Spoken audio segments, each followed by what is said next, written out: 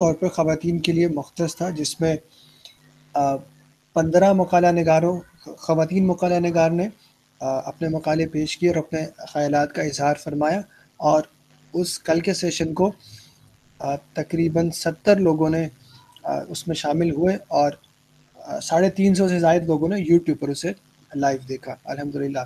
और आज इस कॉन्फ्रेंस का दूसरा और अख्तामी इजलास है। इजलास की कार्रवाई को मज़ीद आगे बढ़ाने के लिए मैं गुजारिश करूँगा। बज़म फ़िक्र इकबाल पाकिस्तान के मरकज़ सदर जनाब डॉक्टर कमर इकबाल साहब से कि वो इस, आज की इस इजलास की कार्रवाई को आगे बढ़ाएँ। जी, बहुत शुक्रिया जैन साहब। नाहमदली रसूल करीम। अम्माबाद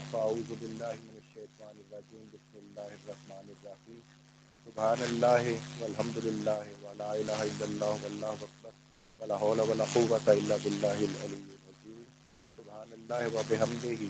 सुबहान अल्लाहिल अज़ीम अल्लाहुम्मा सल्लि अला सय्यिदिना व नबियिना मुहम्मदिन। व अला आलि मुहम्मदिन व अला व सहाबे सय्यिदिना मौलाना मुहम्मद व बारिक वसल्लम वसल्लम। नहायत ही वाजिबुल एहतराम बुज़ुर्गों दोस्तों, नौजवानों ख़वान हजरात, और मेरे बहुत ही मोहतरम और मुकर्रम माहरीन इकबालियात और इकबाल शनास हजरात जो हमारी दरख्वास्त पर आज की कॉन्फ्रेंस में शरीक हुए सबको अस्सलाम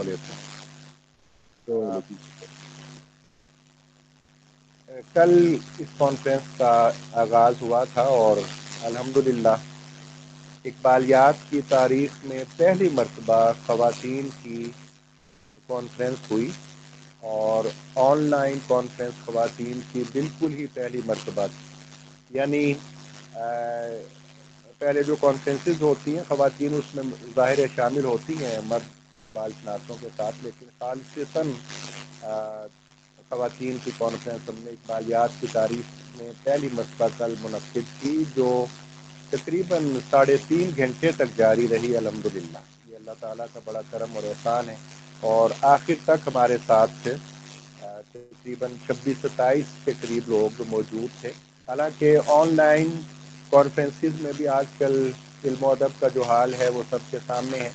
इब्तदा में ही मुश्किल से हमने देखा कि बड़े इदारों की कॉन्फ्रेंसिस भी जो होती हैं, उसमें शुरू में दस बारह अहबाब और आखिर में दो तीन रह जाते हैं। इसलिए अल्लाह ताला का करम और एहसान है कि साढ़े तीन सौ लोगों ने फेस यूट्यूब पर ज्वाइन किया इसे और तकरीबन सत्तर पचहत्तर के करीब लोग हमारे साथ मीट पर मौजूद थे। और ख़वान ने बहुत उमदा मकाले पढ़े, उनकी रिपोर्ट इन उनकी, आपकी खिदमत में पेश की जाएगी। और बहुत मुफीद तजावीज़ सामने आई हैं। कल का हमारा मौजू था बेगाना रहे दी से अगर मदरसाए सन तो इस पर खासी गुफ्तु हुई। आज भी तकरीबन उससे रिलेटेड हमने मिसरा रखा हुआ है, जो आप अहबाब की खिदमत में पेश कर दिया गया था। इन उस पर बात होगी। तफसील से बात सामने आएगी, तजावीज़ भी सामने आएँगी, और सिफारशात भी हम इन प्रिंट मीडिया में भी और सोशल मीडिया पर पेश करने की कोशिश करेंगे। दुनिया को है फिर मार का रूह बदन पेश। तहजीब ने फिर अपने दरिंदों को उभारा। तो इस पर अहबाब ने बात करनी है नौजवानों की रहनमाई के लिए। अलामा ने कई साल पहले ये बात कही थी और हमें बता दिया था, आका कर दिया था हमें कि रूह और बदन का मारका जो है वो ज़ोर व शोर से जारी है हमने। अलामा की बात सुनी या नहीं सुनी और इस मार्के के अंदर हमारी कारगुजारी क्या रही, क्या इसमें हम ताबूत को शिकस्त देने में कामयाब हुए।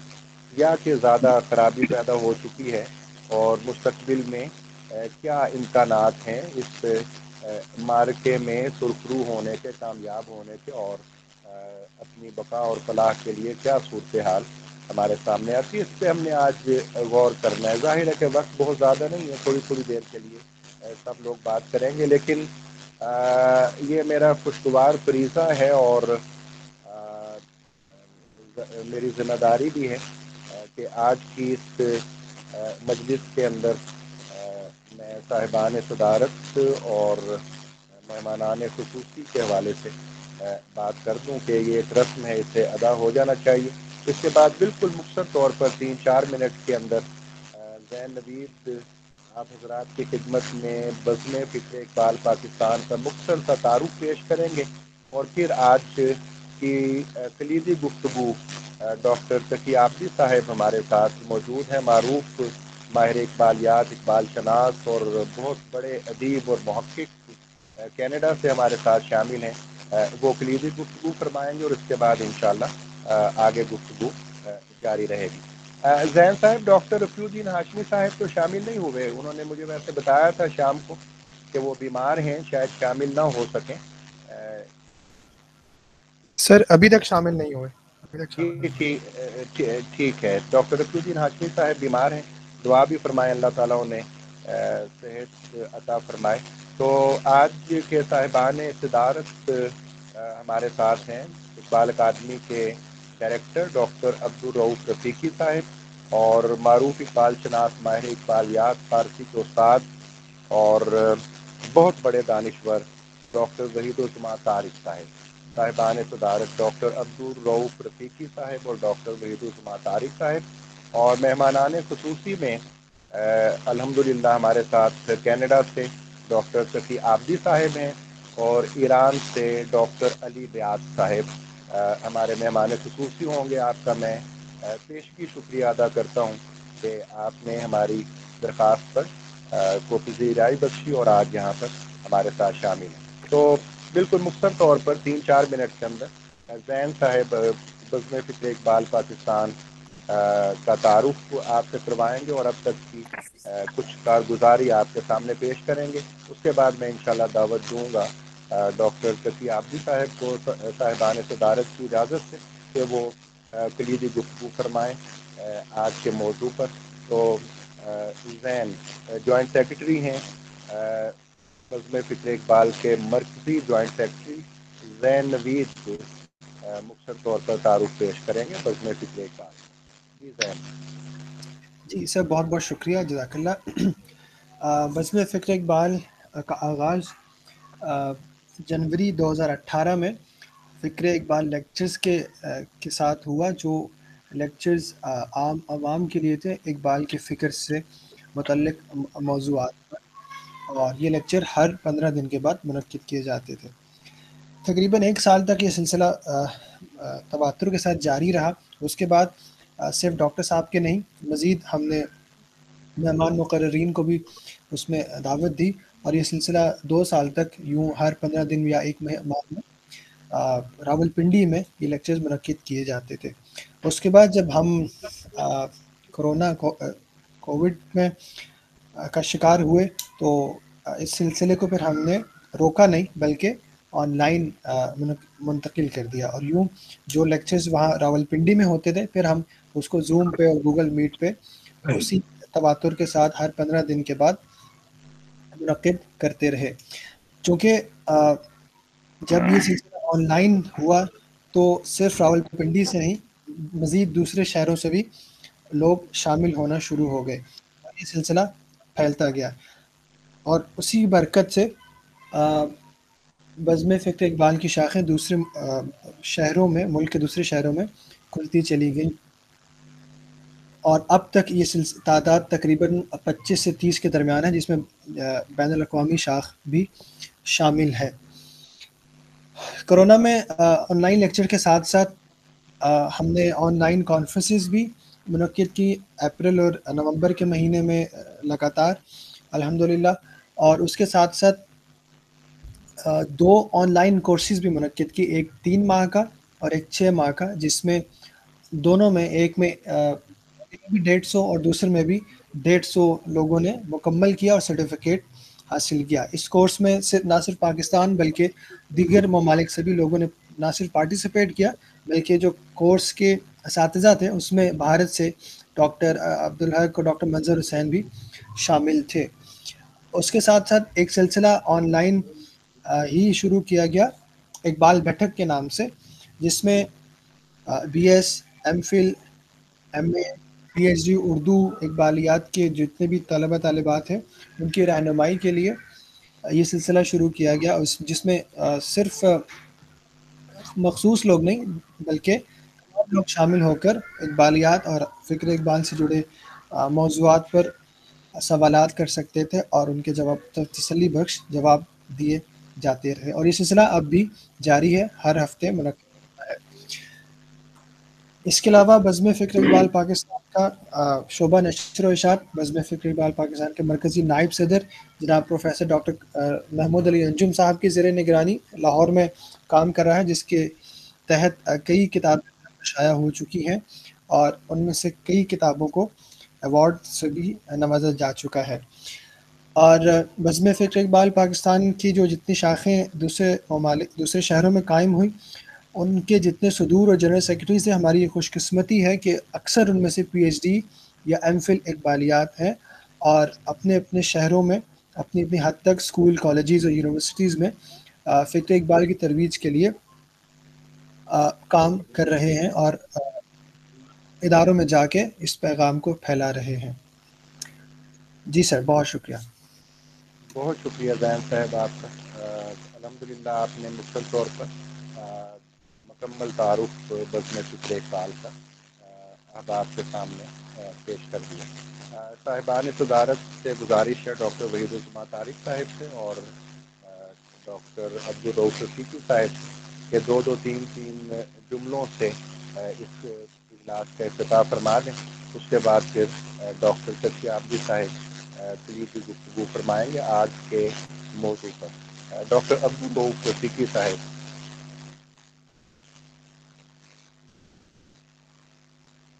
अज़बिल्लाशैतरजीम बसमीम मैं बज़म फ़िक्र इकबाल के इस तीसरी आलमी कॉन्फ्रेंस इनका पे डॉक्टर कमर इकबाल साहब और इनके जुमला रफ़ा कार को मुबारकबाद पेश करता हूँ और जिस मौजू का इंतखब किया है, आज के हवाले से इंतहाई अहम है। अलबत् मुझे एक अफसोस से ये कहना पड़ रहा है कि कल मैं ज्वाइन इसलिए नहीं कर सका कि कोयटा में एक अहम तकरीब और एक ज़ियाफ़त में कुछ फॉरनर्स भी आए थे तो इसलिए मुझे वहाँ जाना पड़ा। तो आप लोगों को मैं ज्वाइन नहीं कर सका और काश मैं जो पंद्रह मकाल निगारों के निगारशात पेश किए जा चुके थे, मैं उनसे मुस्तफ़ होता और मुझे ये मौका मैसर होता। आप तमाम हजरात को खुश आमदीद कहता हूँ और आप के समातों के लिए आपसे अल्तमास है। उम्मीद है कि आप अब इस सेशन के अख्ताम तक हमारे साथ होंगे ताकि हम बहरे इकबाल से ज़्यादा से ज़्यादा गौहर समेटने में कामयाब हो जाए। बहुत बहुत शुक्रिया डॉक्टर जी दूसरे हमारी आज की तकलीफ़ के दूसरे सदर हैं ब्रिगेडियर डॉक्टर वहीदुलसमा तारिक साहब। उनसे गुजारिश है कि इफ्ताही कलमात से नवाज़। बिस्मिल्लाहिर्रहमानिर्रहीम। सबसे पहले तो मैं शुक्रगुजार हूँ डॉक्टर कमर इकबाल का जैसे उन्होंने अनाउंस किया, मुझे इस तंजीम का सरप्रस्त। तो उन्होंने मेरी बुजुर्गी में भी इजाफा किया और अपने लिए एहतराम के जज्बात भी मेरे दिल में उनका भी अफसाइश की। तो आज की जो महफिल है, उसमें जो उन्होंने टॉपिक चुना है, वो बहुत ही खूबसूरत है। कि दुनिया को है फिर मार का है रूह बदन पेश। अब ये जो है मार का रूह बदन, यही वो चीज़ है जो हिंदू माइथोलॉजी में माया और आत्मा के नाम से जानी जाती थी, रूह और बदन। और इकबाल का ख्याल ये है कि रूह की और बदन के अलावा भी बहुत सी डायमेंशन है जो इंसान की ज़िंदगी में जिनका ताल्लुक इकबाल चूँकि उनका पीएचडी का थीसिस जो है वो metaphysics development of metaphysics in Persia है। तो जोरोएस्ट्रियन फिलॉसफी की वो जो कश्मकश है अदल की इसमें नेकी और बदी की वो इकबाल के दिल में हमेशा सामने उनके रही है। और वही इंतहाई इंतहाई माजरत के साथ आपकी गुफ्तु हम बाद में सुनेंगे। जी मैं बिल्कुल तो मैं बिल्कुल इससे तो आज अज़ीज़ इस सिलसिले में जो भी गुफ्तु होगी मैं आपके साथ शरीक हूँ। जी बहुत शुक्रिया। इंशाल्लाह अभी अभी आप को वाइंड अप करेंगे। तो मैं मजीद बहुत बहुत शुक्रिया। जी मैं अभी नेक ख्वाहिशात के साथ जी आहलम व सहलम व मरहबा मेरी तरफ़ से ये इफ्तिताह हो चुका है। अब मैं माइक आपके सपुर्द करता हूँ बहुत शुक्रिया। बहुत शुक्रिया बहुत शुक्रिया। जी आज के हमारे कलीदी मुकर्र मार का दुनिया को है फिर मार का रूह बदन पेश। तहजीब ने फिर अपने दरिंदों को उभारा। डॉक्टर तकी आबदी साहब जो हैं वो आ, बड़ी गहरी नज़र रखे हुए हैं आ, इस मार के रूह बदन पर। जिसम के भी डॉक्टर हैं और इकबाल चूँके पढ़ते और पढ़ाते हैं इसलिए रूहों के भी मसीहा हैं और हमारे साथ आ, हमारी खुशकस्मती है कि ब्रिगेडियर बहितो जुमा तारिक साहिब भी बुनियादी तौर पर तिब से ताल्लुक़ रखते हैं। आ, लेकिन आ, पहले मैंने किसी तकरीब में कहा था कि जिस्मों की तबाबत से आगे बढ़कर इकबाल को भी पढ़ा उन्होंने ताकि रूहों के भी मेमार बन सकें और रूहों के भी मसीहा करार पाएँ। तो डॉक्टर तकी आप भी साहेब आज के मौजू पर कलीदी गुफ्तु फरमाएँगे, दुनिया को है फिर मार का रूह वतन पेश। डॉक्टर तकी आपकी बिस्मिल्लाहिर्रहमानिर्रहीम। बहुत ममनून हूँ। सरपरस्त बज़ में फ़िक्र इकबाल के डॉक्टर कमर इकबाल साहब का के आज के इस मौजू पर हम गुफ्तगु कर रहे हैं। और हमारे जो सुदूर हैं, प्रोफेसर सिद्दीकी साहब और ब्रिगेडियर वहीदुलजमा तारिक साहब की इजाज़त से, मसला ये है कि अल्लामा इकबाल ने जो कहा था कि सरूद रफ्ता बाज आयत के नायत, नसीमी अज हिजाज आयत के नायत, पचासी छियासी साल गुजर गए इकबाल, कोई अभी तक हमारे पास दाना राज दोबारा नहीं आया। इकबाल ने अपनी ज़िंदगी ही में कहा था कि आशनाए मन जमन बेगाना रफ्त मेरा जानने मेरा जानने वाले आपके जी बताइए। मेरी आवाज़ जारी रखिए। आप जारी रखिए। जी जी आपकी आवाज़ आ रही है आप जारी रखिए। अच्छा। तो अर्ज़ ये कर रहा था क्योंकि मैं सफ़ा से नहीं पढ़ता तो मैं तवज्जो चाहता हूँ। इकबाल कह रहे थे कि अस खुमस्तानम तही पैमाना रफ मैंने तो पूरा उनके अफकार का और ख्यालात का पूरा आपके खुमस्तान सजा दिया था, लेकिन वो अपने सागर को खाली, यानी हमने अफकार इकबाल से आपके कोई फ़ायदा नहीं उठाया। ये ज़िंदगी में कहा, आज छियासी साल के बाद भी यही मसला है कि अल्लामा इकबाल के ये तो अगर मुतदाविल और जो उनके बाकियात के अशार फारसी और उर्दू में जिनकी तादाद सोलह हज़ार सात सौ से भी ज़्यादा है या जो उनके जो डेढ़ हज़ार के करीब खतूत हैं या उनके जो रिकंस्ट्रक्शन ऑफ़ रिलीजियस थॉट के जो खुतबात हैं या उनके जो मलफूजात और उनके दिबाजात और उनके तह, तहरीरें हैं उन सब में अफकार इकबाल इस तरह से है। मैं आपकी खिदमत में शुरू करते हुए बताना चाहता हूँ कि कायद आज़म को जो सात अक्टूबर 1937 को जो खत लिखा इकबाल ने, आज तकरीबन नब्बे साल के करीब हो रहे हैं। आप देखिए इकबाल का इकतबास को मैं तर्जुमे को पढ़ रहा हूँ कि फलस्तीन का मसला मुसलमानों के लिए बायस फ़िक्र तरद है। मुस्लिम लीग के लिए ये एक सुनहरी मौका है कि एक ज़बरदस्त करारदाद फिलिस्तीनियों की हिमायत में मंजूर की जाए। मुझे यकीन है कि मुस्लिम लीग के इजलास में किसी ऐसे रास्त इकदाम की तजवीज को भी सामने लाया जाएगा, जिसके ज़रिए अवाम भी फिलिस्तीनियों के मसले पर जाती दिलचस्पी का इजहार कर सकें। ये तरीक़ेकार एकदम मुस्लिम लीग को मकबूल बनाएगा और अरब फिलिस्तीनियों के लिए भी सूदमंद होगा। मैं जाती तौर पर, इस जुमले पर तवज्जो कीजिए जो नौ साल पहले हकीमुल उम्मत ने, यही तो है अफकार जिस पर हमको अमल करना है। फरमाते हैं मैं जाती तौर पर ऐसे मामला के लिए, जो इस्लाम और हिंदुस्तान दोनों के लिए खतरा हो, जेल जाने से भी गुरेज नहीं करूँगा। मशरक के किनारों पर मगरबी इस्तेदाद की निशानी किसी सूरत भी बर्दाश्त नहीं की जा सकती। देखा आपने फ़िक्र इकबाल पढ़ रहा हूँ। बताने की कोशिश ये है कि, बताने की कोशिश ये है कि अलामा इकबाल का जो रूह और बदन का मसला है, पूरा इकबाल के कलाम को अगर आप एक जगह जमा कर दें तो बस वही दो आपके जो है, रूह और बदन। इसी पर इकबाल का पूरा है। यानी अलामा इकबाल, निकलसन ने जो कहा था कि अल्लामा इकबाल अपने दौर में मुखैर नहीं है, बल्कि अपने माजी से वो अपनी रोशनी हासिल कर कर आइंदा आने वाले जमाने को पेश करते हैं, ताकि हम लोग भी इस्तेफादा कर सकें। इसीलिए तो इकबाल ने कहा था, मैंने, मैं शायर फरदा हूँ तो मसला जो है कि मारे के रूह बदन जो मसला दरिंदों को उभारना है, दरिंदे तो हर जमाने में रहे हैं, क्योंकि दरिंदे का मकसद ही यह होता है कि इंसान को तबाह किया जाए, इंसानियत को तबाह किया जाए, उसी को तो हम इस्तफादा करते हैं। तो अल्लामा इकबाल ठीक है, इस्लामी शायर है, फलसफी शायर है, मुकामी शायर है, कौमी शायर है मिली शायर है, इन सब का मजमु आफाकी शायर इस वजह से है कि अल्लामा जो है इंसानियत के बारे में बात करते हैं, फजीलत इंसान के बारे में बात करते हैं, मुकाम इंसान के बारे में बात करते हैं,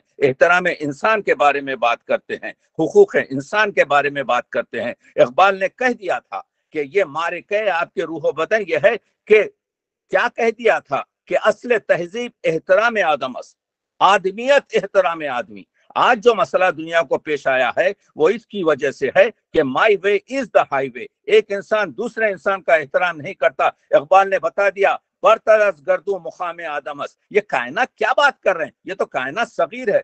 बरतरस गर्दू मुकाम आदमस असल तहजीब।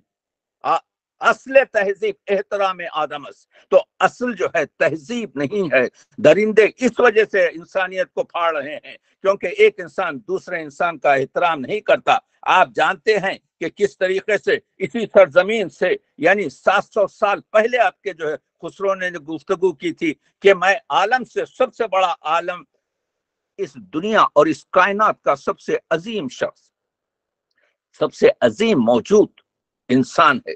देखिए, हम ठीक है, लेकिन इस्लाम ने जो ये तीन वादे दिए हैं, किसी और मज़हब में आपको नहीं मिलेंगे। एक ये कि इंसान अशरफुल मखलूक़ात है, दूसरे ये कि इंसान कितना भी फिसादी हो, कितना भी खुरेजी खुरेजी करे, लेकिन तनहा नायबुल्लाह फिल अर्ज़ है। और तीसरे, तमाम आपके जमादात हो के, नबातात हो के, हैवानात हो के, ये मलायक हो के, ये तमाम फरिश्ते हों, ये सब कंप्यूटराइज हैं। इंसान फकत एक ऐसा मौजूद है जो मुख्तार और मजबूर के दरमियान की कैफियत है। तो अल्लामा इकबाल ने जिस तरीके से इसको बताया है कि आदम अज बेबसरी बंदगी आदम क्या आदम अपने अंधेपने से इसने आपके जो दूसरे आदमी की गुलामी अख्तियार की।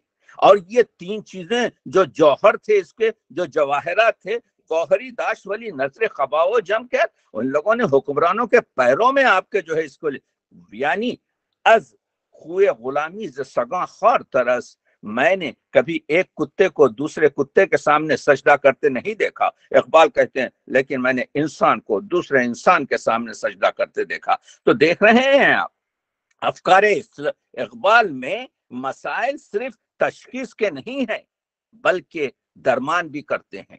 बताते हैं कि ठीक है कि वो शिकवे है इकबाल के। अफकार इकबाल इस इस पंद्रह, अठारह, बीस मिनट में बताया नहीं जा सकते। लेकिन इकबाल ने कह दिया कि गिला जो किया, अफकार इकबाल में डूब के निकलना है। रूह हो, जिस्म का जो मसला है इकबाल, कि यही आदम है सुल्तान बहरोबर का? कहूँ क्या मांझरा इस बेबसर का? इस अंधे का मैं क्या बताऊँ? न खुद भी, न जहाँ भी, न खुदा भी। यही शहकार है तेरे हुनर का? तो जब ये कहते हैं कि ना इंसान खुदबीन है, मारे कहे रूह बदन क्या है? सबसे पहले इंसान को अपने आप को बनाना है। आप जानते हैं कि इकबाल ने सिर्फ़ गुफ्तगु नहीं की है। इकबाल ने बताया है कि देखो, शाहिद अव्वल शूर खींचतन खीशरा दीदन बनूर खीशतन अगर तुम चाहते हो इस मारके में सुरखरू हो, अगर तुम चाहते हो कि इसको शिकस्त दो तो सबसे पहले खुद साजी करो। खुद साजी ऐसी करना है अपने महासेबा करो, अपने विजदान की रोशनी में। शाहिद अव्वल शूर खीशतन खीशरा दीदन बनूर खीशतन उसके बाद आएगा शाहिद सानी। क्या है? शाहिद सानी जो है, अब जो है खीशरा दीदन बनूर दीगरी। आप अपने आप को जानो कि तकी आबेदी आप कितने पानी में हैं। लोग आपके बारे में क्या सोचते हैं? दुनिया और हमसाय में आपकी क्या इज़्ज़त है? जब ये दो चीज़ें हो जाएँ शाहिद सालिस, शूर जात हक खीशरा दीदन ब नूर जात हक। उस वक्त आप तरीक़त में, शरीयत में, आप इस्लामी तरीके में आपको देखना पड़ेगा। तो जब जाके आप खुदा तक पहुँच सकोगे तो मालूम यह हो रहा है कि खुद खुदसाजी अहम है। हम लोग बहुत आसानी के साथ, दूसरों के साथ। अफकार इकबाल जो है, ज़्यादातर क्योंकि इकबाल मुसलमान है? क्योंकि इकबाल एक कौम से ताल्लुक रखता है जो बर सगीर से है। अगरचे कि वो ब्रह्मन ज़्यादा हो, अगरचे कि वो आशनाए आपके जो है, रूम और तबरेज हो। लेकिन इकबाल पहले ये कहते हैं, हमारे मौलिमों को, हमारे मौलवियों को, हमारे मुदब्बिरों को, हमारे दानिश्वरों को, हमारे अदीबों और सियासत मदारों हुक्मरानों और शायरों को, सर सैयद की आप जो है, वो सैयद की तुरबत से आप देख लीजिए कि मुद्दवा तेरा अगर दुनिया में है, तालीम दी तरके दुनिया कौम को अपनी न सिखलाना कहीं वाह न करना फिरका बंदी के लिए अपनी जबान छुप के है, बैठा हुआ हंगाम मैशर। वसल के असबाब पैदा हो तेरी तहरीर से, देख कोई दिल ना दुख जाए तेरी तकरीर से। हमारे हमारे जो शायर हैं, जिनको इकबाल ने कहा, पाक रख अपनी जबान तिलमीज रहमानी है तू तिलमीज रहमानी है हमारे शोरा, हमारे अदबा, हमारे पास जो अदब में दहशत गरी चल रही है, हमारे पास अल्लामा इकबाल पर अभी आपने सुना कि हमारे रूह रवा, इकबाल, डॉक्टर इकबाल ने कहा कि 300 लोग आपके जो है ज्वाइन हुए थे 300 लोग, तीन करोड़ लोग ज्वाइन होना चाहिए इकबाल की रोशनी में। हम इसी पर खुश हैं कि 300 लोग जमा होते हैं। ये एक ऐसी दरिया है, ये एक ऐसा आपके जो है 700 साल के बाद मौलाना रूम के बाद अगर कोई आया है तो वो मौलाना इकबाल लाहौरी है। करोड़ा लोगों को चाहिए कि इससे इस्तेफादा करें। तो कहने का मतलब ये है कि अगर मुदब्बिर है, अगर सियासत मदार है तो सबसे पहली चीज़ यह है कि हमको आपके अपने वो शेर हो या तहरीर हो या गुफ्तगु हो या तकरीर हो, यानी सोने वाले को जगा दे शेर के एजाज से, हम लोग जगा रहे हैं, हम लोग आपके जो तो इकबाल का जो मसला है, अल्लामा इकबाल जो बात कर रहे हैं, जो कुरान मजीद को अपना मरकज बना के गुफ्तगु करते हैं, देखिए, निकलसन ने जैसा अल्लामा इकबाल कौम साजी और उसके साथ फ़र्ज़ साजी सबसे पहले, उसके बाद कौम साजी और उसके बाद इंसान साजी, क्योंकि दरिंदे तो रहेंगे। इस वजह से कि ये जो है, जब से दुनिया बनी है, ये जुल्म और ये क्या कहते हैं, शैतानी कुवत हमेशा साथ रहेगी। लेकिन इकबाल ने दिबाचे ससरार खुदी में एक खूबसूरत जुमला कह दिया, लिख दिया कि मेरा मकसद इस्लाम की वकालत नहीं है। बल्कि मेरा मकसद एक ऐसे माशरे की आपके तश्कील है। यानी मैं जब तोहहीद का मसला उठाता हूँ, इकबाल कहते हैं, जब ला इलाहा कहता हूँ, इस वजह से कहता हूँ कि वो एक सजदा जिसे तू गरा समझता है, हज़ार सजदों से देता है आदमी को निजात और वही सजदा है लायक एहतराम, करे सारे सजदे जो तुझ पर हराम। तो इकबाल जो है, ये जो यूनाइटेड नेशन बनी है, इससे खुशहाल नहीं है। ये तो खूंखारी है। हवस ने टुकड़े टुकड़े कर दिया है नवे इंसान को, अखुवत का बयां हो जा, मोहब्बत की जबा हो जा। तो अफकार इकबाल में मोहब्बत है, अफकार इकबाल में भाईचारगी है, अखबार अफकार में अखुवत है। और इसी वजह से आगे बढ़कर कहते हैं कि ये जो है आपके जमाना बातू ना साजत, तू ब जमाने सतीस हदीस भी खबर आज के जमाने बेसास अगर जमाना तेरे साथ नहीं चल रहा है तो जमाने के साथ वो मारे का अगर है तो मारे का अगर जीतना है तो उससे जंग कर। इस वजह से कि गुलामी में ना काम आती है, ना शमशीरें, ना तदबीरें।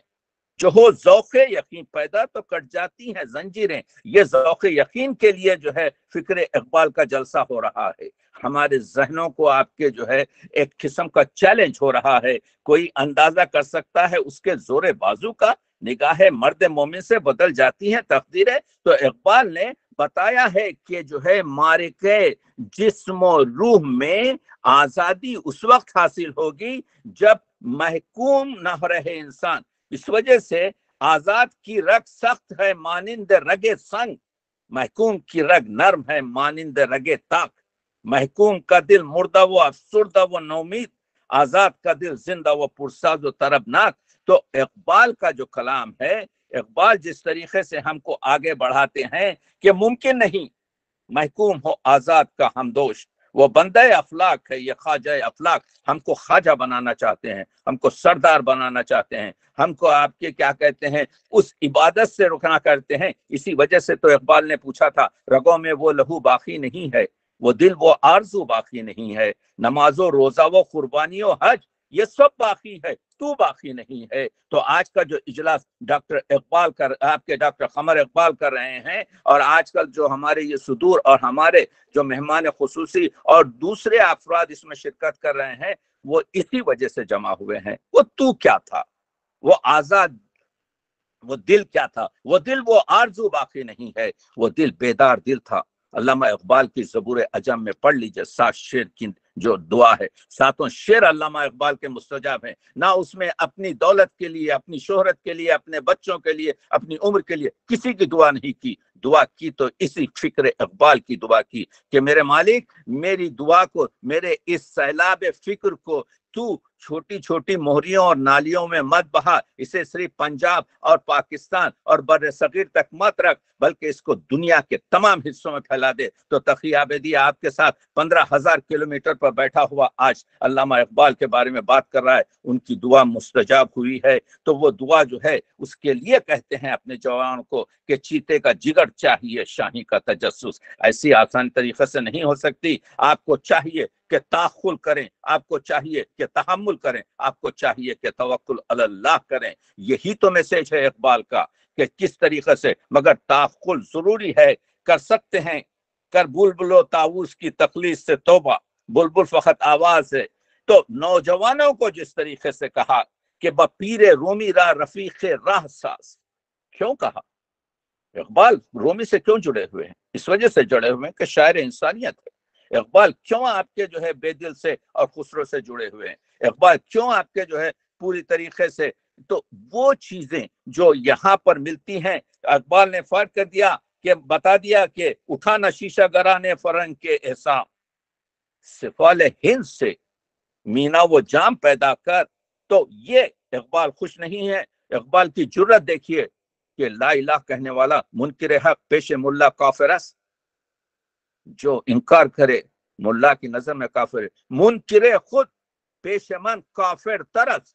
इकबाल की ये ज़रूरत है कि इकबाल फरमाते हैं कि काफिरी बेदार दिल, पेशे सनम। एक काफिर बेदार दिल के साथ अपने बुत के सामने बेहबे दीनदारी के खुब अंदर हना उस मुसलमान से बेहतर है जो काबे में सो रहा है। तो मैं अपनी गुफ्तु को तमाम कर रहा हूँ। क्योंकि लोगों से सुनना है। लेकिन अलामा इकबाल का ज़िक्र जो है आपके, एक तो इश्क मोहम्मद और एक आपके कुरान मजीद। उस कुरान मजीद के बारे में कहते हैं कि तेरे जमीर पर जब तक ना हो नजूल किताब, गिरा कशा है ना आपके जो है राज़ी ना साहिब कशफ ये तफसीरें कुछ काम नहीं करेंगी। इस तरह से कुरान पढ़ो, जिस तरह के खुदा ने तुम्हारे सीने पर, तुम्हारे दिल पर आपके जो है उसका किया है। और उसके बाद से कहते हैं, गर तुमी खाही मुसलमान जीस्तन। अगर तू चाहता है कि इस्लाम पर मुसलमान रह के रहे, नीस्त मुमकिन जुज जीस्तन। इस वजह से कि हामिल आलमीन है। तो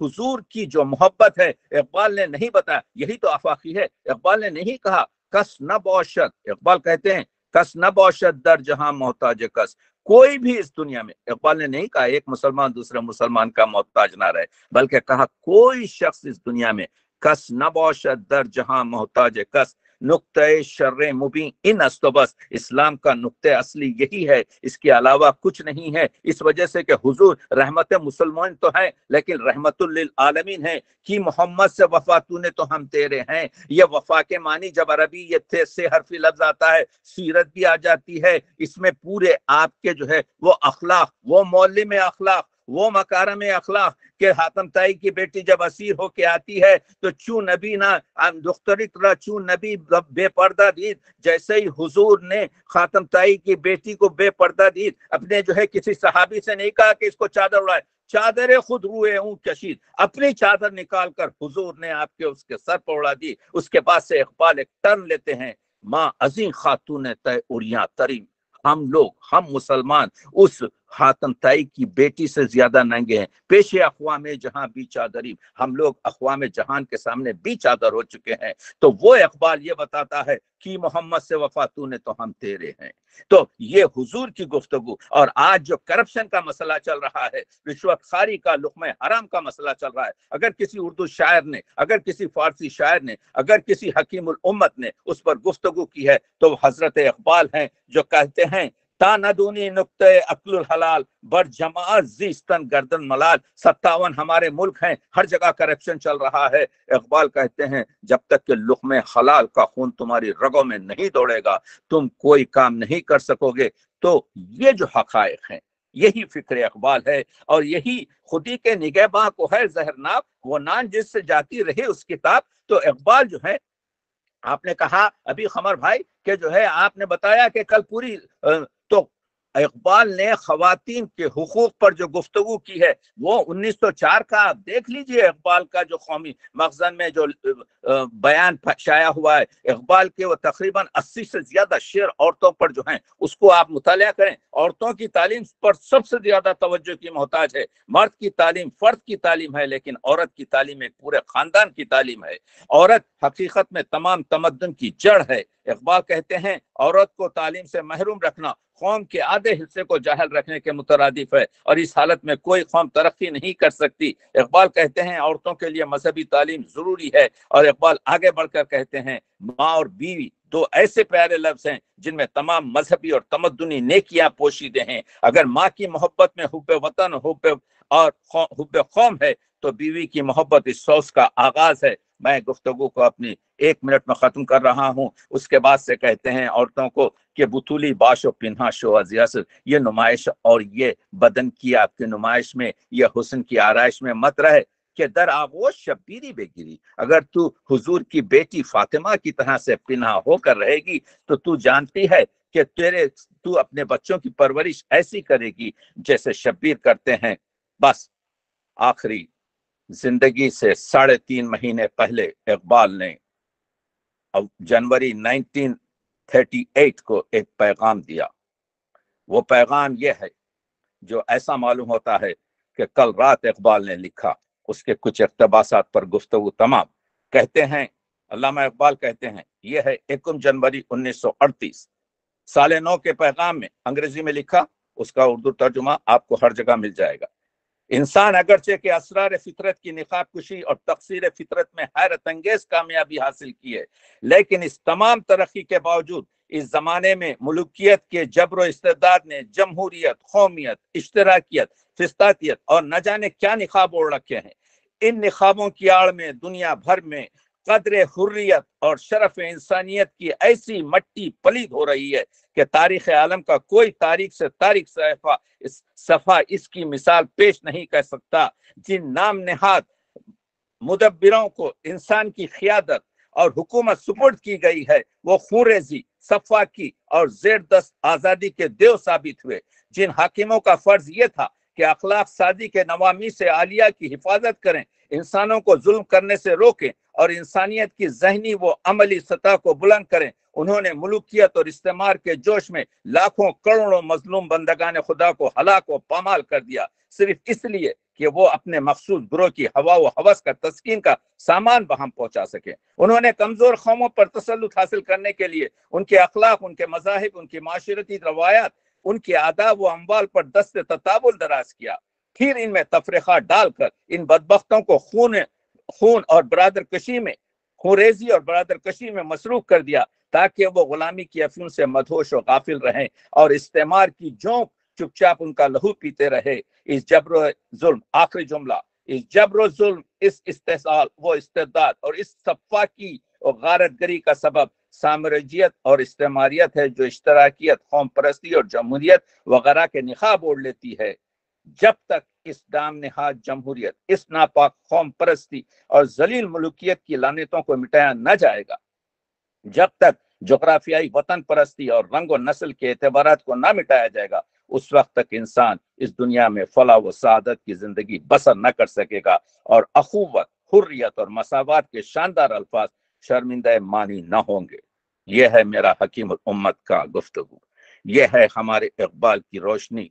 तो अब आप बताइए क्या करोड़ा इंसानों को दुनिया के इकबाल की इस कलाम की ज़रूरत, इस पैगाम की ज़रूरत, इस रोशनी की ज़रूरत, इस, इसी वजह से तो इकबाल ने कहा था कि मैं ये अपने दरमिंदा कारवां में, ये जुल्मत शब में, मैं ये मशल लेके निकलूँगा। मैं ममनून हूँ। मैं आप सबका, आपके जो है बहुत मशहूर हूँ कि आपने ये मशल जलाई। अगरचे के एक छोटी सी क्षमा भी अंधेरे को मिटा सकती है। तो जब तक के अखबाल हमारे साथ हैं हम इनशाला पूरी दुनिया को मशल मोहब्बत की अखूबत की, हुर्रियत की, आज़ादी की और इंसान साजी की ताकि ये मारे के जिसम रूह को हम पूरी तरीके से मुजयन कर कर दुनिया के सामने पेश कर सकें। आज पंजाब के लोग, आज आपके उस खत ज़मीन के लोग इस अजीम हकीम उम्मत पर जितना भी फख्र करें, कम है। बहुत बहुत शुक्रिया। बहुत शुक्रिया, डॉक्टर साहब, बहुत शुक्रिया। माशाल्लाह, अल्हम्दुलिल्लाह। डॉक्टर सैयद तकी आबदी साहेब कनाडा से कुलीदी गुफ्तु फरमा रहे थे आज के मौजू। दुनिया को है फिर मार का रूह बदन पेश के हवाले से। गुफ्तु माशाल्लाह आगे बढ़ेगी। नए नए निकात हमारे सामने आएँगे।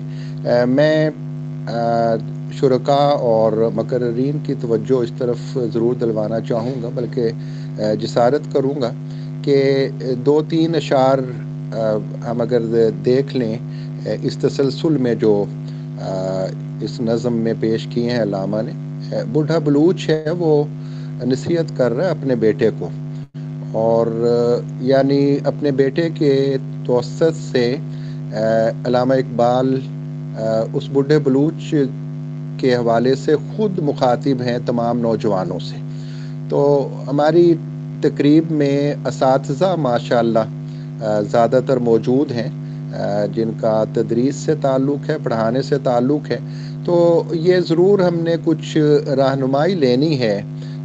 आप अहबाब से ज़रूर कि अल्लामा ने जो कुछ कहा था क्या उस पर आ, अमल आ, हम करने में कामयाब हुए हैं या नौजवान नस्ल तक वो पैगाम पहुँचाने में कामयाब हुए हैं? और अगर नहीं हुए तो उसकी क्या वजूहत हैं? और किस तरह से ज़्यादा मौसर तौर पर ये पैगाम नौजवानों तक पहुँचाया जा सकता है?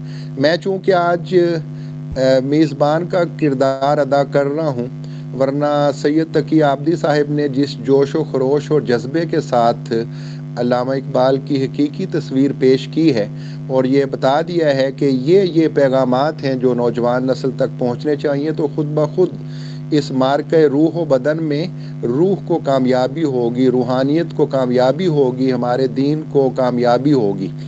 तो बुढ़ा बलूच अपने बेटे से कह रहे हैं असल में और अल्लामा तमाम नौजवानों से कह रहे हैं कि दुनिया को है फिर मार का रूह बदन पेश जी।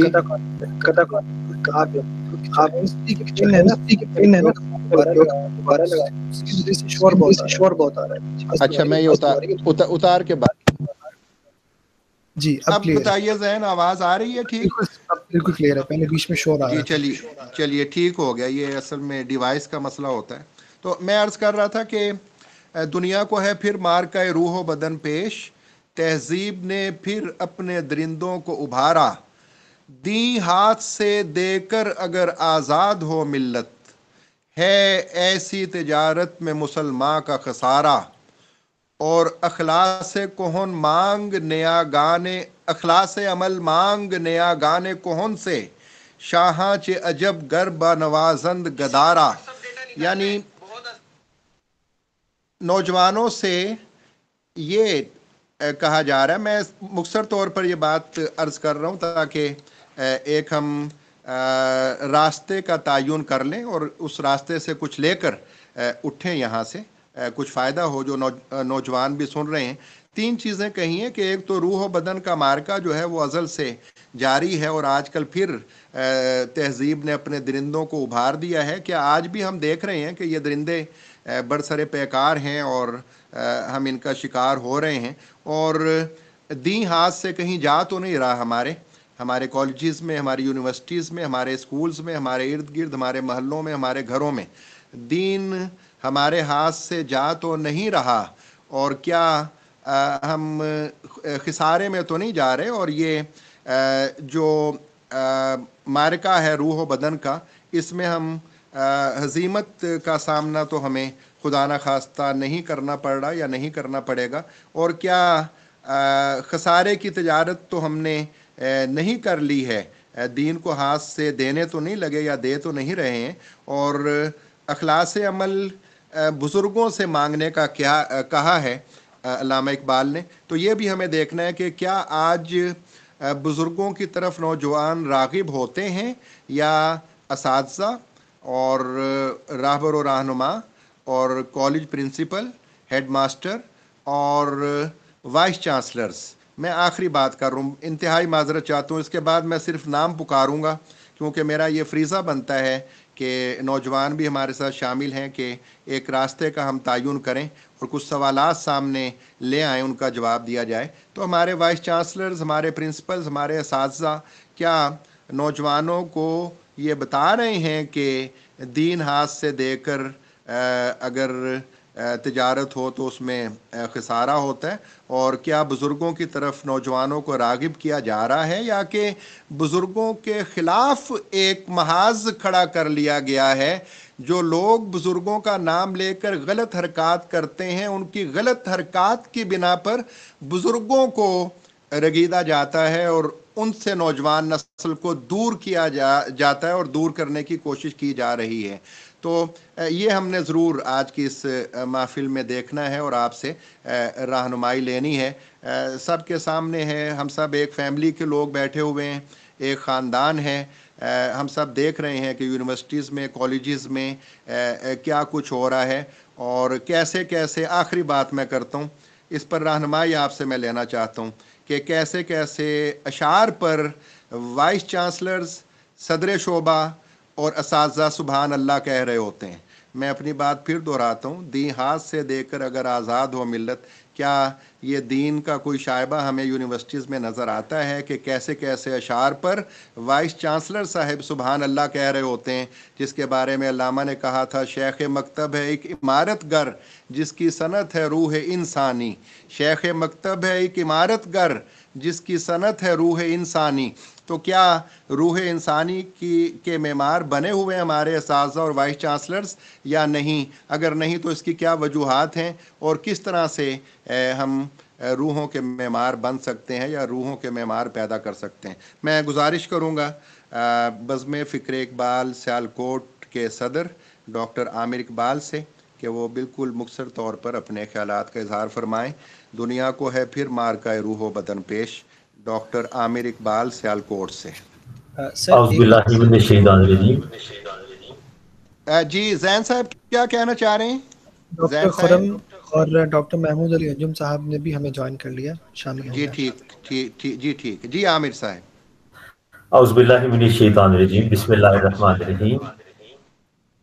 आवाज़ ठीक आ रही है मेरी? जी बिल्कुल आ रही है सर। फ़िक्र इकबाल की तोसी के लिए पहले तो मैं बहुत ज़्यादा शुक्रगुजार हूँ आप लोगों का कि एक इतनी अली किस्म की कॉन्फ्रेंस जो है इसका अहतमाम किया। आ, फिर डॉक्टर तकियाबदी साहब का बहुत ज़्यादा शुक्रगुजार हूँ कि अपनी मसरूफियात में से वक्त निकाला और आज यहाँ जो है हमें कुछ सिखाने और समझाने के लिए मौजूद हैं। बहुत शुक्रगुजार हूँ और साथ ही जितने भी हमारे ज़िम्मेदारान मौजूद हैं रफ़ीकी साहब हैं और फिर जो है वहीदुज़मा तारिक साहब हैं, इनका बहुत ज़्यादा शुक्रगुजार हूँ। जहाँ तक आज के मौजू का आपने इंतखब किया है बुढ़े बलोच की नसीहत के हवाला से तो माशाल्लाह वक्त की ज़रूरत के एन मुताबिक आपने ये फैसला किया है कि दुनिया को है फिर मार का रूह बदन पेश, तहजीब ने फिर अपने दरिंदों को उभारा। तो इसमें सबसे पहले जैसे दीगर अशार का आपने हवाला भी दिया और ये देखिए इसमें कि गैरत है बड़ी चीज़ जहाने तगो दो में पहनाती है दरवेश को ताजे सरे दारा, और फिर अफराद के हाथों में है अकवाम की तकदीर। हर फर्द है मिलत के मुकद्दर का सितारा। तो ये अफराद की तरबियत के हवाला से ही सारी की सारी बात है। इतने आप अजीम लोग बैठे हैं तो मैं तो तालब इल्म ही की हैसियत से बात करूँगा। इकबाल ने जगह जगह जो है अपना पैगाम दिया है। जब इकबाल ने अपने बच्चे जावीद को ख़त लिखा उसे जो है बताया जिसका एक शेर जो है, तकी आबदी साहब ने भी पेश किया है। उसके अख्ताम पर उन्होंने कहा कि मेरी मैं शाख ताक हूँ, मेरी गज़ल है मेरा समर, मेरे समर से मैं लाला फाम, पैदा कर। तो इस तरह दरअसल इकबाल के अपने अफकार, अपने नज़रियात जो हैं, वो जगह जगह देखे जा सकते हैं, जिनसे हमें इस्तफादा करना चाहिए। जब इकबाल ने, अगरचे एक जगह इकबाल ने जो है परेशानी का ज़िक्र भी किया लेकिन वो इकबाल की जो नज़म है जिसका पहला शेर जो है परेशानी के आलम में है और आखिर में मगर इकबाल ने अपने घर के लिए जो है पैगाम दिया कि अल्लाह, मेरे मुझे ऐसा घर अता कर कि जिसमें आकर लोग क़याम करें। तो दरअसल वो क़याम का मकसद यही है कि चाहते ये हैं कि लोग आकर फ़िक्र इकबाल से इस्तफादा करें। तो हमारा जो अलमिया है, वो ये है कि हम सही तौर पर फ़िक्र इकबाल से इस्तफादा जो है, वो नहीं कर रहे। हालाँकि फ़िक्र इकबाल आप जानते ही हैं कि इकबाल का मुताला जो है वो हैरत फाराबी से जो है वो कम नहीं और वो नगमा नौ जो है, वो नगमा नौ बहार की तरह जो है निशात अंगेज है और दूसरी तरफ़ जो है ये कल्बो नज़र के लिए सोजो इस आपका जो है सचश्मा भी है और जो है उनके शेरी तासुरात जो हैं उनकी गुजरगाह जो है वो सरूद सहर की जो है राह कहकशां भी है और फिर मजी सामीन जो है, कारी को हर मुताला में जो है, मकामी शौक की नई आगही जो है, वो मैसर आती है। तो इसलिए मुताल इकबाल जो है जो फ़िक्र इकबाल की और इकबाल का कलाम है, उसकी जो क़िरात है, उससे हमें सही अंदाज से जो है, उसका मफहूम हासिल करना चाहिए, देखना चाहिए। और बाकी रही बात इस कराम की तो इस कराम की ज़िम्मेदारी है कि वो अपने अपने उस मकाम पर, जिस मकाम पर वो मौजूद हैं, वहाँ तलबा को सही तौर पर इकबाल, फहम इकबाल, फ़िक्र इकबाल की तफहीम से जो है ना, सही तौर पर जो है वो रोशनास कराएँ। ये फ़िक्र इकबाल को सिर्फ़ जो है काफ़िए से काफिया मिलाकर जो है अशार पेश करने वाला मामला ये छोड़ दें। इसका कुछ अच्छा तासर नहीं है। अब जो है आलम बाला में भी यही बातें अब हो रही हैं कि अब जो है महमूद जो है वो भी अयाज को कोहनिया मार रहा है और सफ़ों में पीछे धकेल रहा है। कि अलामा ने पूछा भाई मैं तो अब लिख चुका हूँ कि एक ही सब में खड़े हो गए महमूद एयाज तो महमूद भी कह रहे हैं कि भाई वो तो तुमने काफिया से काफिया मिला दिया। वो हुआ इसीलिए कि किसी ने समझाया ही नहीं है कि महमूद का मुकाम क्या है अयाज का क्या है। सिर्फ़ काफिए से काफिए मिला के बातें बता दी है जिसका नतीजा ये है कि आज फ़िक्र इकबाल जो है वो लोग तकरीरों में और जनाब इधर उधर जो है बड़े अशार जो है लोग तो इसलिए बेहतर यही है कि इस सही तौर पर फहम इकबाल जो है और तलबा को भी जो है सिखाने का पूरा सही तौर पर अंजाम दे। और मैं अपनी गुजारिश है माजरत चाहूँगा अगर जो बात सख्त निकली हो तो बहुत ज़्यादा शुक्रिया अदा करता हूँ। मोहतरम कमर इकबाल साहब का और इस कॉन्फ्रेंस में मुझे गुफ्तु का मौका फराम करने के लिए बहुत ज़्यादा शुक्रिया। वालेकुम। अस्सलाम वरहमतुल्लाह बहुत शुक्रिया डॉक्टर साहब बहुत शुक्रिया। बुरी क्यों लगेगी आपकी बात? ये तो बज़म फ़िक्र इकबाल का तरीक़ार यही है और अक्सर हम ये शेर पढ़ते हैं हज़ार खौफ हो लेकिन ज़ुबाँ हो दिल की रफ़ीक। यही रहा है अज़ल से कलंदरों का तरीक। तो साफ़ बात हमने करनी है, फिर ही कुछ बर्फ़ पिघलेगी यूनिवर्सिटियों से और कॉलेज से। और ऐसे ऐसे अशार जो हैं उन पर वाइस चांसलर और सदर शोब उर्दू सुबह अल्लाह कहना छोड़ेंगे और कुछ खुदा का खौफ करेंगे कि यूनिवर्सिटी के अंदर किस किस्म के अशार पढ़े जाने चाहिए। मौलाना अल्ताफ़ सैन हाली ने तो डॉक्टर तकी आबदी ने बहुत काम किया हुआ है मौलाना अल्ताफ़ सैन हाली पर भी माशाल्लाह। और जैन साहब आवाज़ आ रही है मेरी आप तक? जी सर बिल्कुल आ रही है। जी।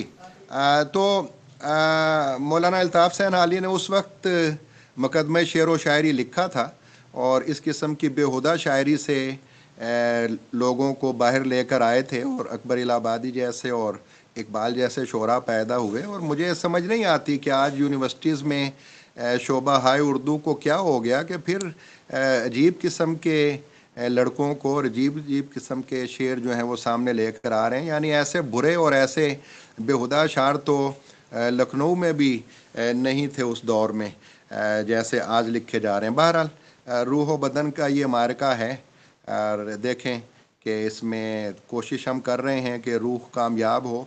और लेकिन इसके लिए कोशिश हमने जारी रखनी है इन मेज़बान होने के नाते मैं डॉक्टर खुरम यासीन साहब और डॉक्टर महमूद अंजुम साहब से बात दरख्वास्त करूँगा कि इंतहाई मुख्तर अंदाज में अपनी हाज़िरी लगवाएँ ताकि हम मेहमानों की तरफ़ बढ़ें। डॉक्टर खुरम यासीन बज़म फ़िक्र इकबाल पाकिस्तान के सदर हैं। उनसे गुजारिश है कि आज के मौजू पर इंतहाई मुख्तर तौर पर अपने ख्याल का इजहार फरमाएँ। डॉक्टर खुरम यासीन, साथ ही मैं ब्रिगेडियर वहीदुज़मा तारिक साहब से पूछना चाहूँगा कि उनका मुकाम तो ज़ाहिर है कि आखिर में बनता है लेकिन उन्होंने हमसे कहा था कि शायद कुछ उन्हें काम हो ज़्यादा देर। तो अगर वो हमारे साथ रुक रहे हैं, फिर मैं उन्हें उनके मुकाम पर ही बुलाऊं, वरना फिर खुरम यासीन साहब के बाद उन्हें मैं दावत इजहार ख्याल दूँ। जी, डॉक्टर साहब जी अस्सलाम वालेकुम सर व रहमतुल्लाहि व बरकातहू जी सर आवाज़ आ रही है? डॉक्टर वहीदुज़मा तारिक साहब से मैंने पूछा है कि डॉक्टर साहब हमारे साथ अगर रहेंगे फिर मैं उन्हें बाद में बुलवाऊं वरना फिर पहले हम उनकी गुफ्तगु सुन लें। जैन साहब देखिए डॉक्टर साहब मौजूद हैं? जी मौजूद तो हैं मगर माइक म्यूट है उनका। अच्छा। चलिए डॉक्टर खुरम यासीन साहब आप फरमाइए। जी अस्सलाम वालेकुम सर व रहमतुल्लाहि व बरकातहू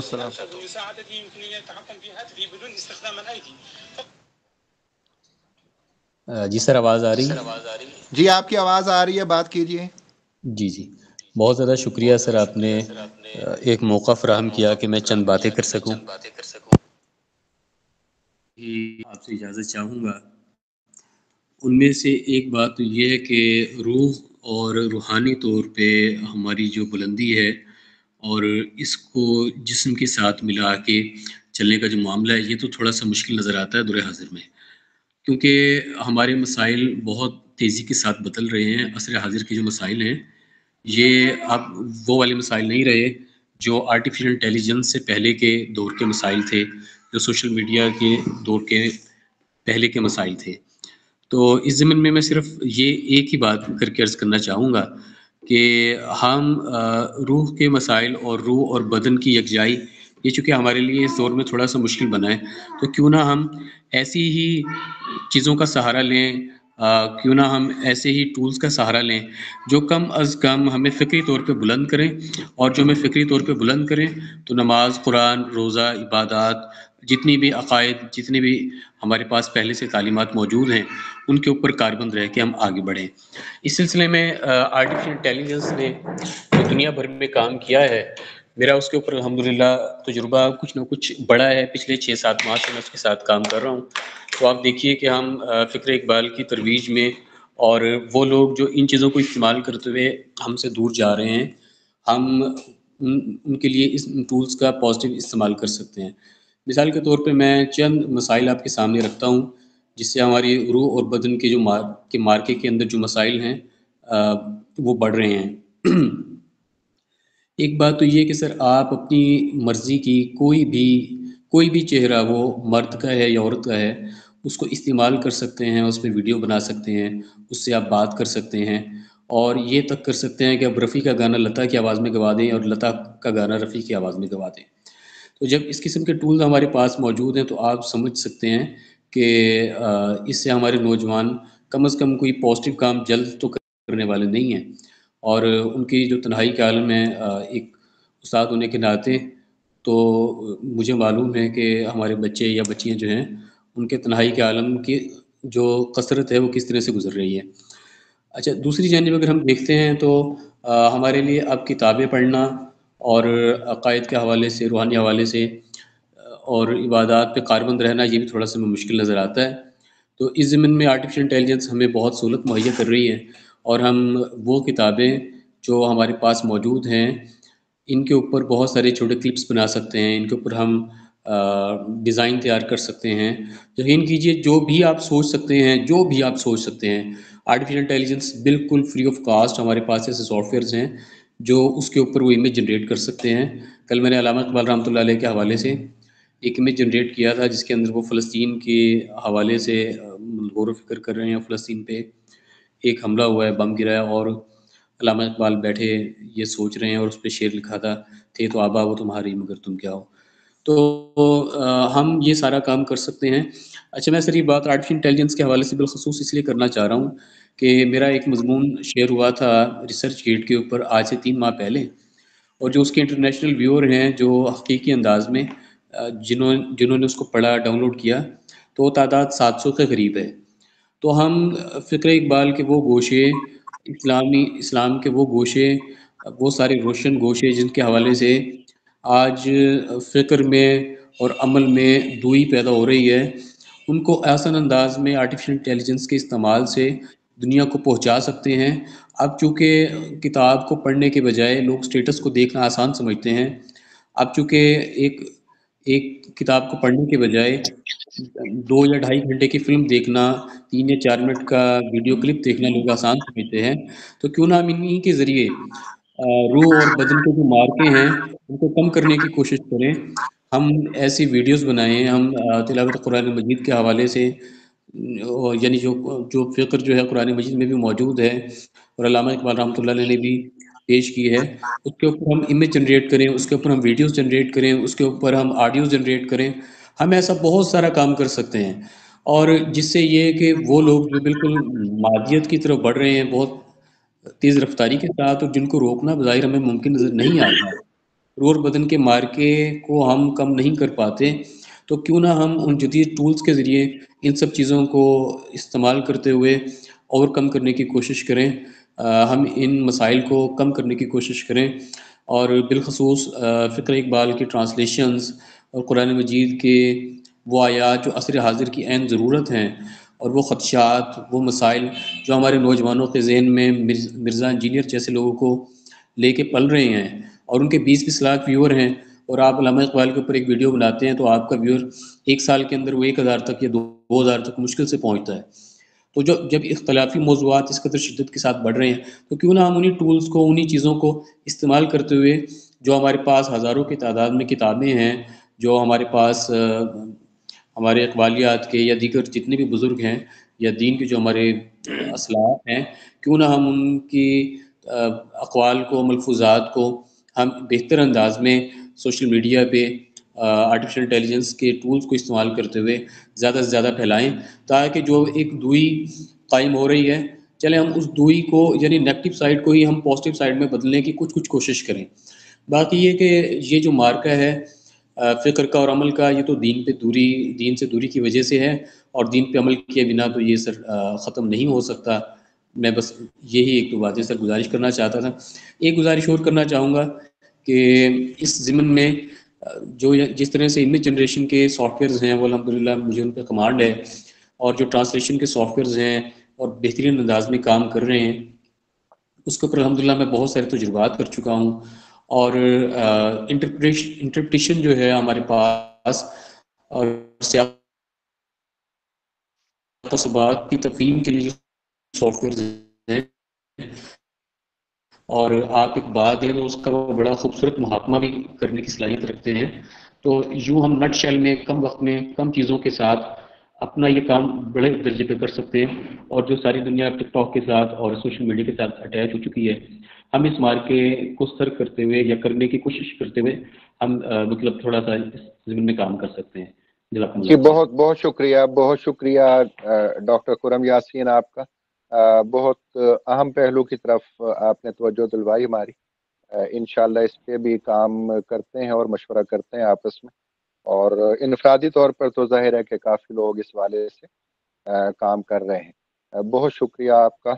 आ, मैं गुजारिश करूँगा बस में फ़िक्र इकबाल पाकिस्तान के मरकजी नायब सदर डॉक्टर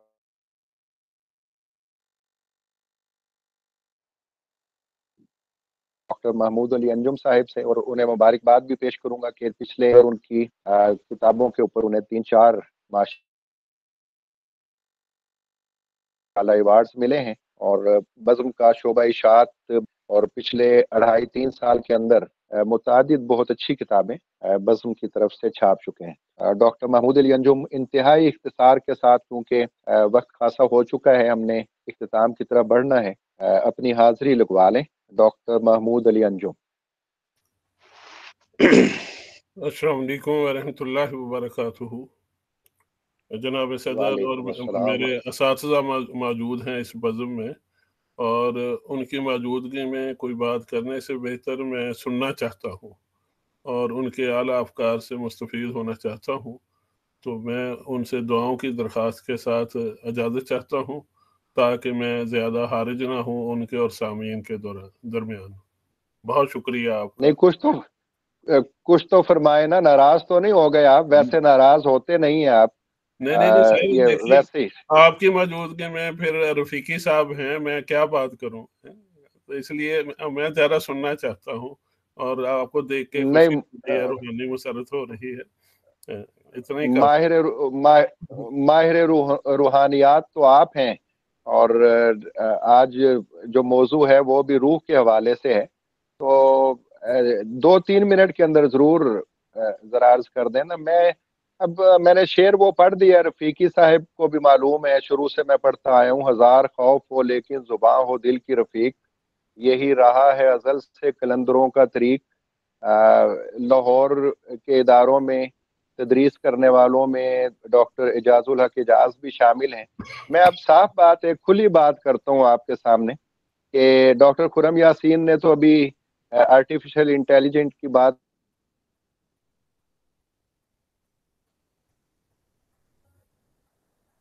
कर दी आईटी की बात की कि उसके ज़रिए। लेकिन इसमें नेट की क्या ज़रूरत है कि शोब उर्दू शोब इस्लामियात और प्रिंसिपल साहब और वाइस चांसलर साहब जो रूहों के मेमार हैं, शेख मकतब है एक इमारत घर जिसकी सनत है, रूह इंसानी यहाँ पे क्या ज़रूरत है आईटी की और कंप्यूटर की कि ऐसे बेहुदा मुशायरे होने से वो रोकें? इसके लिए तो कोई आर्टिफिशियल इंटेलिजेंट की ज़रूरत नहीं है। या फिर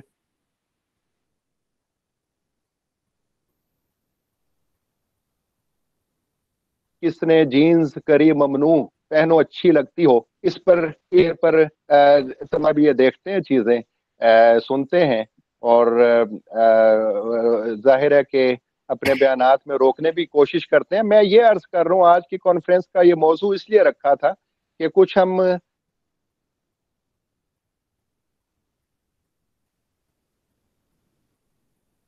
थोड़ा सा तो इन लोगों को ये बताएँ कि कुछ खुदा का खौफ करें। अगर माँ बाप आँखें बंद किए हुए हैं तो आपके पास बच्चियों को भेजा जा रहा है। वहाँ आप ऐसे उल्टे, सीधे और अंट शंट किस्म के बेहुदा शायर बुलवा कर उन्हें क्या सुनवाते हैं?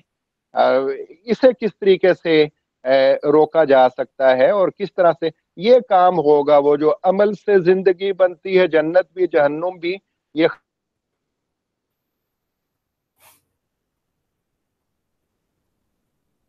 खाकी अपनी फितरत में ना नूरी है ना नारी है ये कॉन्फ्रेंस कर लेने से इस शेरवान नस्ल का इन कॉलेजेस में यूनिवर्सिटीज में बेड़ा गर्क किया जा रहा है उन्हें दीन से दूर किया जा रहा है उनके बदन को बेदार और रूहों को ख्वाबीदा किया जा रहा है। हम क्या लाहे अमल इख्तियार करें? कैसे उन्हें जाकर बताएँ समझाएँ? क्या उनसे मुलाकातें करें? और आ, साफ़ तौर पर वो घुसने भी नहीं देंगे वैसे कॉलेज में। या दोबारा नहीं आने देंगे कम अज कम। मैंने जहाँ भी जाकर ये बातें की हैं दोबारा मुझे उन्होंने बुलवाया नहीं। तो डॉक्टर महमूद अली अंजुम से मैं मुख्तर तौर पर यह पूछना चाह रहा हूँ फिर हम आगे मेहमानों की तरफ़ बढ़ते हैं इनशाला कि क्या तरीका है इसका? ये जो बेशर्मी बेहयाई और बेहुदगी शुरू है नौजवान नस्ल की।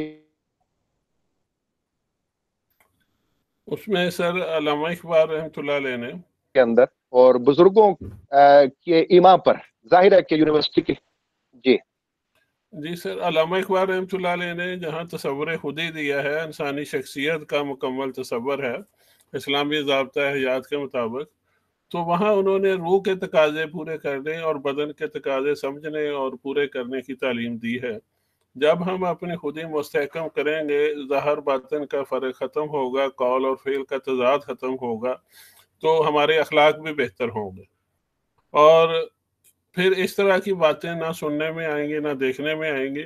हमारे जितने भी मसाइल हैं अलामा इकबाल ने जैसे शिकवा में जवाब शिकवा में आपने मंजूर और मनसूब तहरीरों में अरशाद फरमाया है कि हमारे तमाम मसाइल की बुनियादी वजह लादीनियत है दीन से दूरी। जी और जी, अगर हम जी। दीन को समझेंगे दीन के तकाजे समझेंगे तो दुनिया की ज़िंदगी के साथ आखिरत की ज़िंदगी भी पेश नज़र रखेंगे। बदन के तकाजे पेश नज़र हैं, रिज्क हलाल कमाना है, इबादत है तो रूह के तकाजे भी पेश नज़र रखना होंगे, कि हमारा दिल मुर्दा ना हो जाए, कि ज़िंदगी इसी के ज़िंदा होने से इबारत है। तो जब हम रूह और बदन के तकाजे समझेंगे, इस्लामिक स्पिरिट के मुताबिक हम वो तकाजे पूरे करने की कोशिश करेंगे तो हम अपनी असलाह कर पाएँगे, और फिर दूसरों की भी असलाह कर पाएँगे। लेकिन अफसोस की बात यह है कि देखें, आलमी सतह पे 57 के करीब इस्लामिक कंट्रीज़ हैं और फ़लस्तीन में जो कुछ हो रहा है कॉन्फ्रेंसेस हो रही हैं, एहतजाज हो रहे हैं और कोई भी मतलब ऐसी मिसाल सामने नहीं आई जिसे हम कह सकें कि वो इस्लामी, जज्बा जहाद का अमली इजहार है स्वाय अहल फ़लस्तीन के जो फेस कर रहे हैं। तो ये जो मजमू सूरत हाल है आलम इस्लाम की, यही हमारी इनफरादी सूरत हाल है। यही हमारी समाजी सूरत हाल है। और ये खराबियाँ सारी दीन से दूरी की वजह से हैं। हम अलामा इकबाल रहमत के फ़िक्र को तस्लीम करते हैं। लेकिन अलामा इकबाल रहमत तो अपने रूह के तकाजे पूरे करने के लिए तहजद गुजार थे। नबी करीम वसल्लम पे दरूद सलाम भेजते थे। कुरान हकीम से उनका इतना गहरा तलक था कि रूह कुरान से वो आशना हुए और हमें भी उन्होंने आशना करने की कोशिश की, कामयाब कोशिश की। लेकिन हम जो उनके फॉलोअर हैं, हमें भी चाहिए कि उनके रास्ते पे चलते हुए, जो कि इस्लामी स्पिरिट के मुताबिक है, कि अल्लाह ताला से, अल्लाह के रसूल सल्लल्लाहु अलैहि वसल्लम से अपना रिश्ता रोज़ाना की बुनियाद पे, हर लम्हे की बुनियाद पे मज़बूत से मज़बूत तर करें और फिर अपनी असलाह के साथ साथ मुआशरे की असलाह के लिए भी कोशिश करें, जैसे अलामा ने इज्तमाही खुदी का नाम दिया है। तो बात तो अमल की है। मैं अब एक मिनट और लूँगा कि मैं बहुत सी महफलों में शामिल होता हूँ। जैसे फ़िक्र अकवाल के हवाले से ही मैं एक महफिल में शामिल हुआ। वहाँ अमल से ज़िंदगी बनती है। जन्नत भी जहन्नम भी बड़ी बातें हुई ज़ोरदार मकाले हुए। नमाज़ असर का वक़्त गया कोई भी नहीं उठा नमाज़ के लिए। नमाज़ मगरब का वक़्त गया कोई भी नमाज़ के लिए नहीं उठा।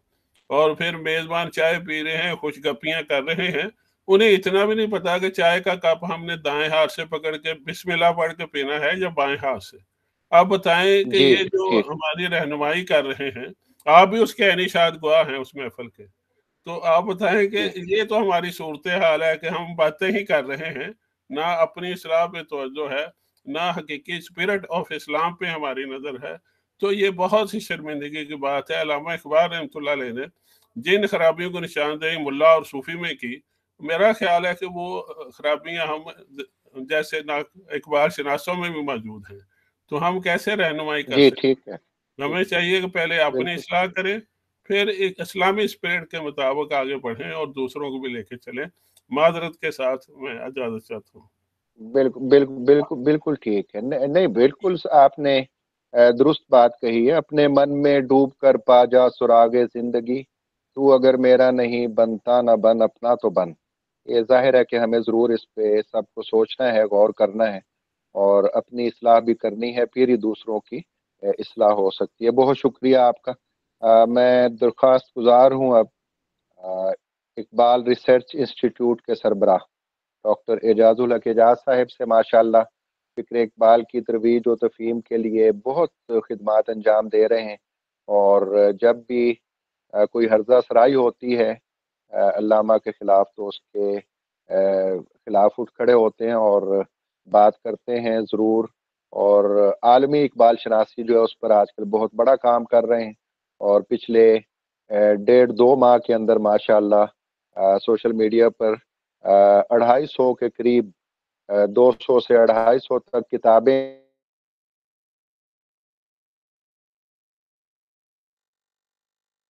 हैं।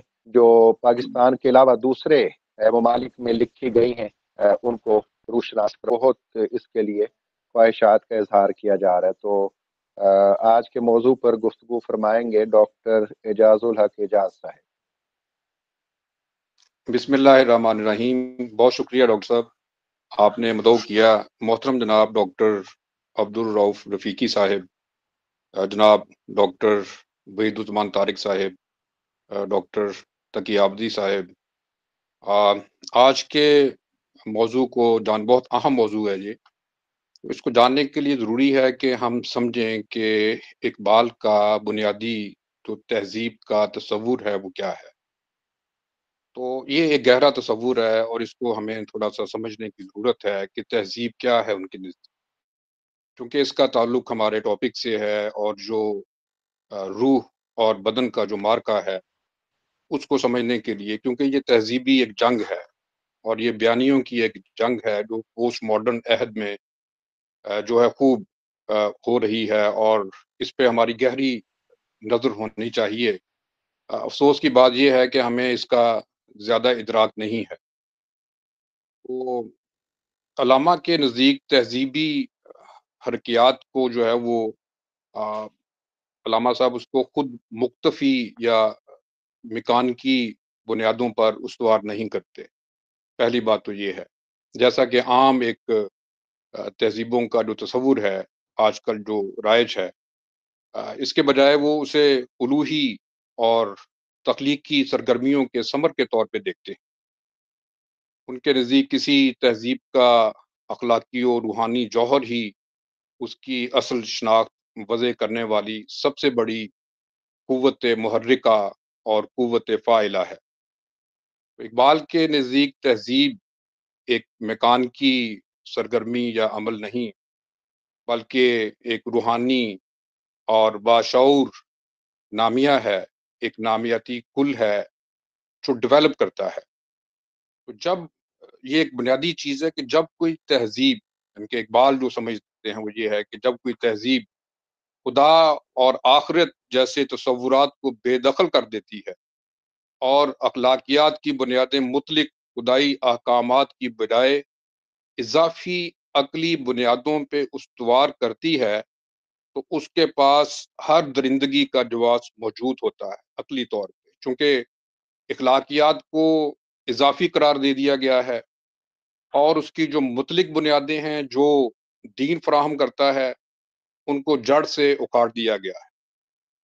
तो ये दुनिया और उसकी आलमगीर तहजीब, जो सो कॉल्ड एक ग्लोबल सिविलाइजेशन जिसको डेवलप करने की कोशिश की जा रही है, एक महेब मशीन के तकाजों के मुताबिक ढाली जा रही यानी कि ये एक मशीन है, चाहे वो आज उसमें आर्टिफिशियल इंटेलिजेंस का जो फैक्टर है वो शामिल किया जा रहा है। मगर बहरहाल ये एक मशीन है, जिसमें रूहानी अकदार का कोई गुजर नहीं है।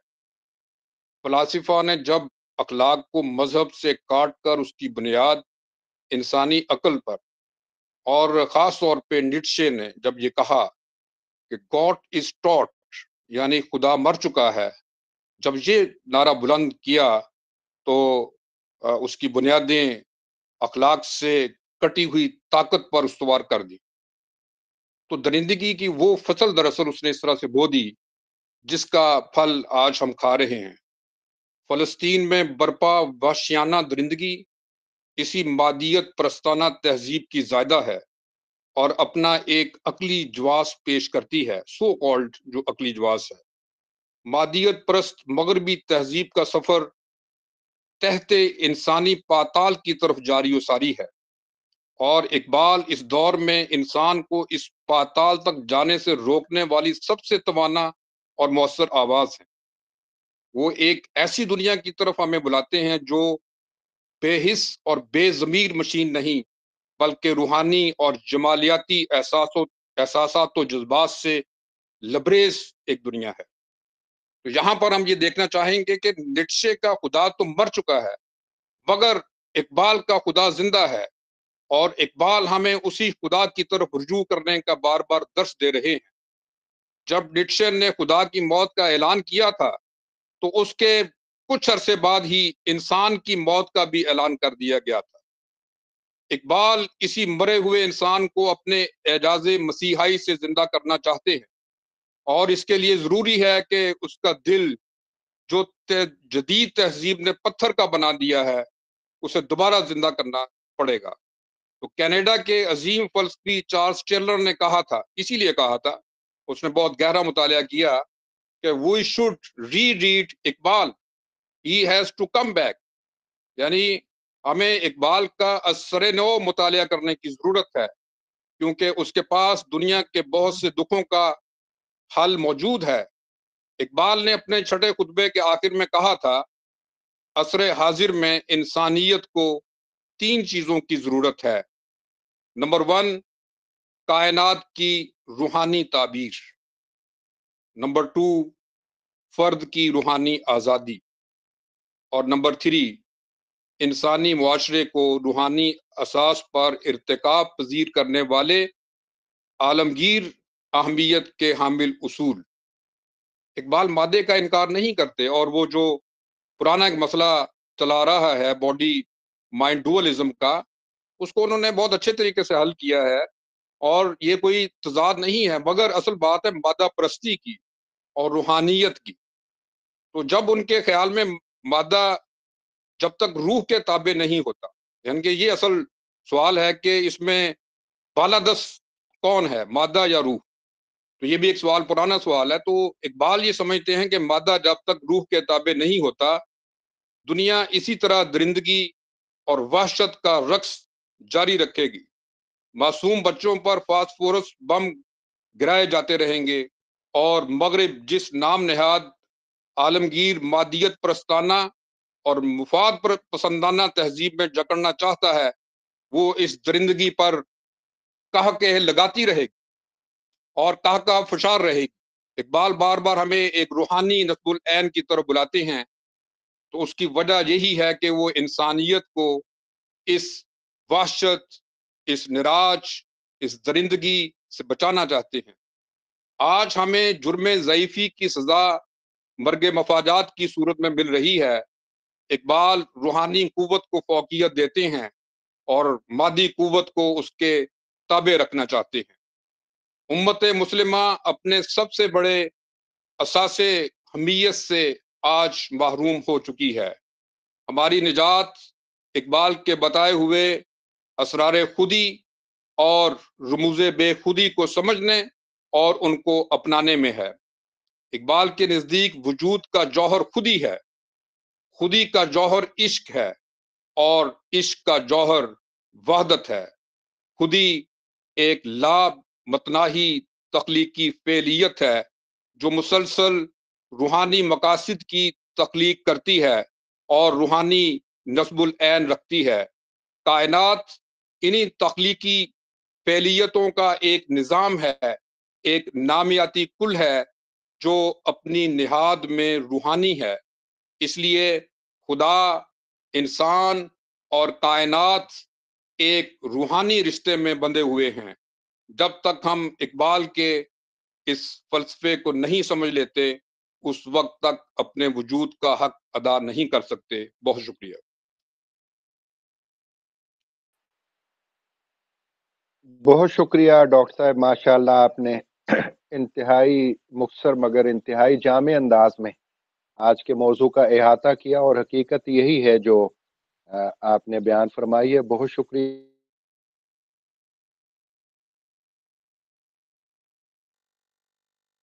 आपका साहिबान सदारत से पहले दरख्वास्त गुजार हूँ और बहुत शुक्र गुजार हूँ।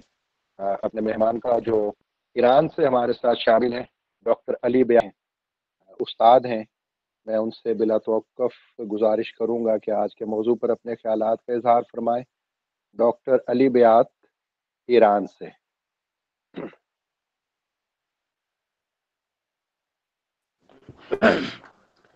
बसमीम उस्ताद मोहतरम डॉक्टर तकी आबदी साहब जनाब डॉक्टर कमर इकबाल साहब मोहतरम सदर बज़म फ़िक्र इकबाल डॉक्टर एजाजुल हक एजाज साहब मेरी बहन डॉक्टर ज़िबुलनसा सरोया साहबा और दीगर तमाम अहबाब और मेहमानों की खिदमत में सलाम अर्ज़ करता हूँ ये जो मौजू है दुनिया को फिर मारे के रूह बदन पेश इस पर डॉक्टर तगी आप्ती साहब और एजाजुल हक साहब ने सैर हासिल बहस की है। आ, मैं एक इस मौजू के पेश नज़र एक ख़ास बात की तरफ़ आपकी तवज्जो मबजूल करना चाहता हूँ कि ये मारे के रूह बदन इस वक्त जो है आलम इकबाल को यानी ये बात क्यों सोची? वो उनके जहन में ये बात क्यों आई? मेरा ख्याल हम इस बात को उस वक्त के आलम इस्लाम के तनाजुर में इस बात को हमें देखना है इस पर तहकीक करने की ज़रूरत है आलम इकबाल ने उस वक्त देखा था कि मुसलमान कौम ऐसे हैं ऐसी यानी मुसलमानों की यह हालत है कि उनके हाथ में उनके दिल में शुआर मुस्तफ़ा मौजूद नहीं जब शुआर मुस्तफ़ा मौजूद नहीं तो उनके यहाँ रमज बगा भी गायब है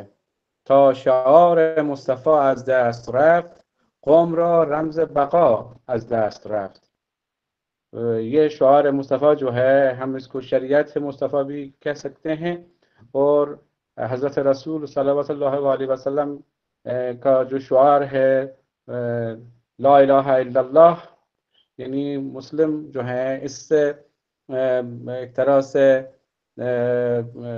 नागाह बने हैं और इसको छोड़ दिए हैं उन्होंने छोड़ दिया है मुस्लिम मुसलमानों ने तो इसलिए इनका वो रमज बगा गायब है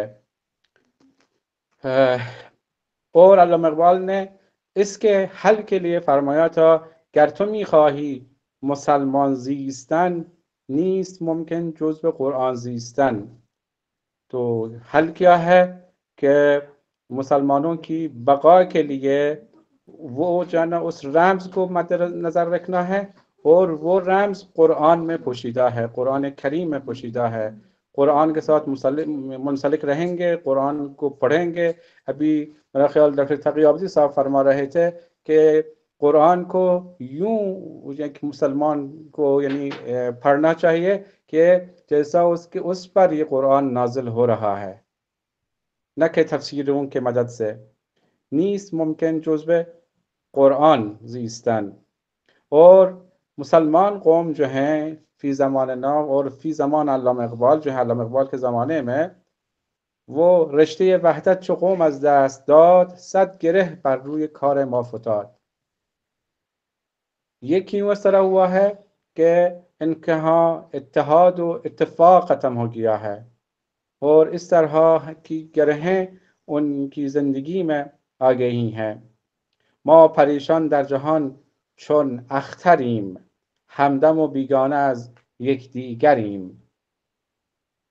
हम दुनिया में सितारों की तरह बिखरे पड़े हैं कभी हमदम और कभी अक्सर हम बेगाना हैं अभी अभी बात हो रही थी कि दुनिया में इतने मुस्लिम ममालिक हैं लेकिन हर आ, मुल्क जो है अपने मसाइल में इस तरह उलझा हुआ है कि आजकल जो फ़लस्तीन में जो हालात हैं, सिर्फ़ हम बात करते हैं और अमली तौर पर कुछ नहीं कर पाते हैं। वो फरमाते हैं, बाज इन बाज इन ओराग रा शिराजे कन?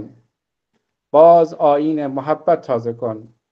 मुसलमान मुल्क ममालिक को आइन मोहब्बत से इत्तेफाक और इतिहाद हासिल हो सकता है।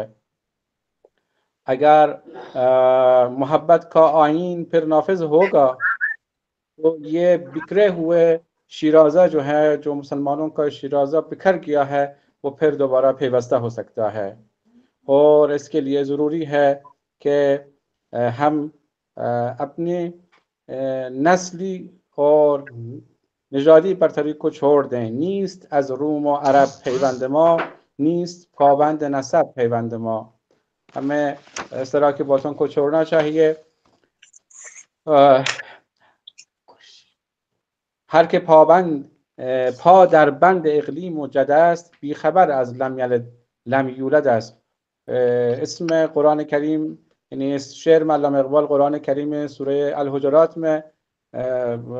मौजूद सूरह की तरफ इशारा फरमाया है कि हमने आप लोगों को शूब व कबाइल में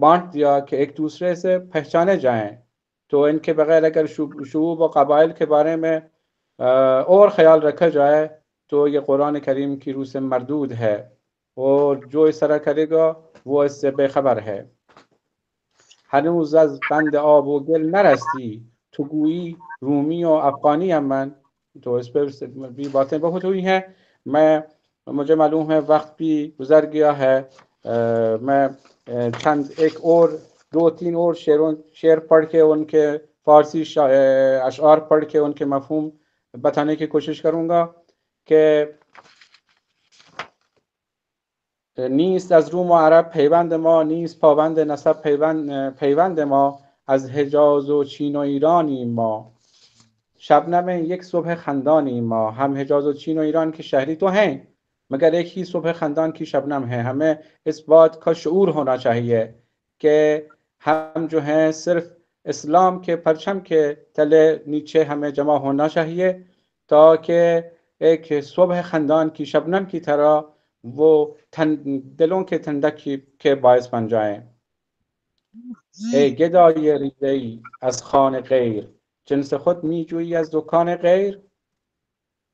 इस वक्त भी अल्लाह इकबाल के ज़माने में भी मुसलमानों की यह हालत थी अब भी मेरा ख्याल यही हालत है कि गैरों के दस्तरखान के रिजों का गिदा अपने सामान दूसरों की दुकान से तो ख़रीदता है तू ख़रीदता है इल्म को दूसरों से अक्स करते हो करता है जबकि इल्म के सामान तेरी दानिशगाहों में पहले से मौजूद हैं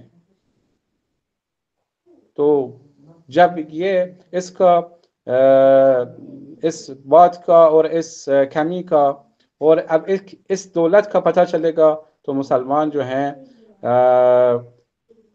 वो अपनी खुदी को पहचान लेंगे और अपने आप से दूसरे यानी अकवाम मुसलमान ममालिक की इतिहाद से सब मुसलमान जो हैं अपने मसाइल को हल करने में कामयाब हो जाएँगे।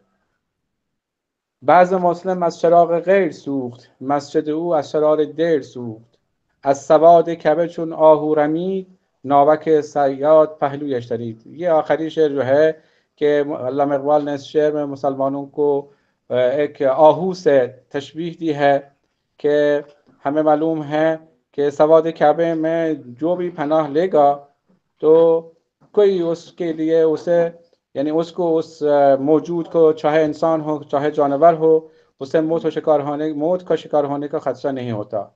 लेकिन जब कि वो नवाह काबे से बाहर जाएगा तो वो उसके मौत का बायस बनेगा और सयाद की ठेक उसके पहलू में उतर जाएगी।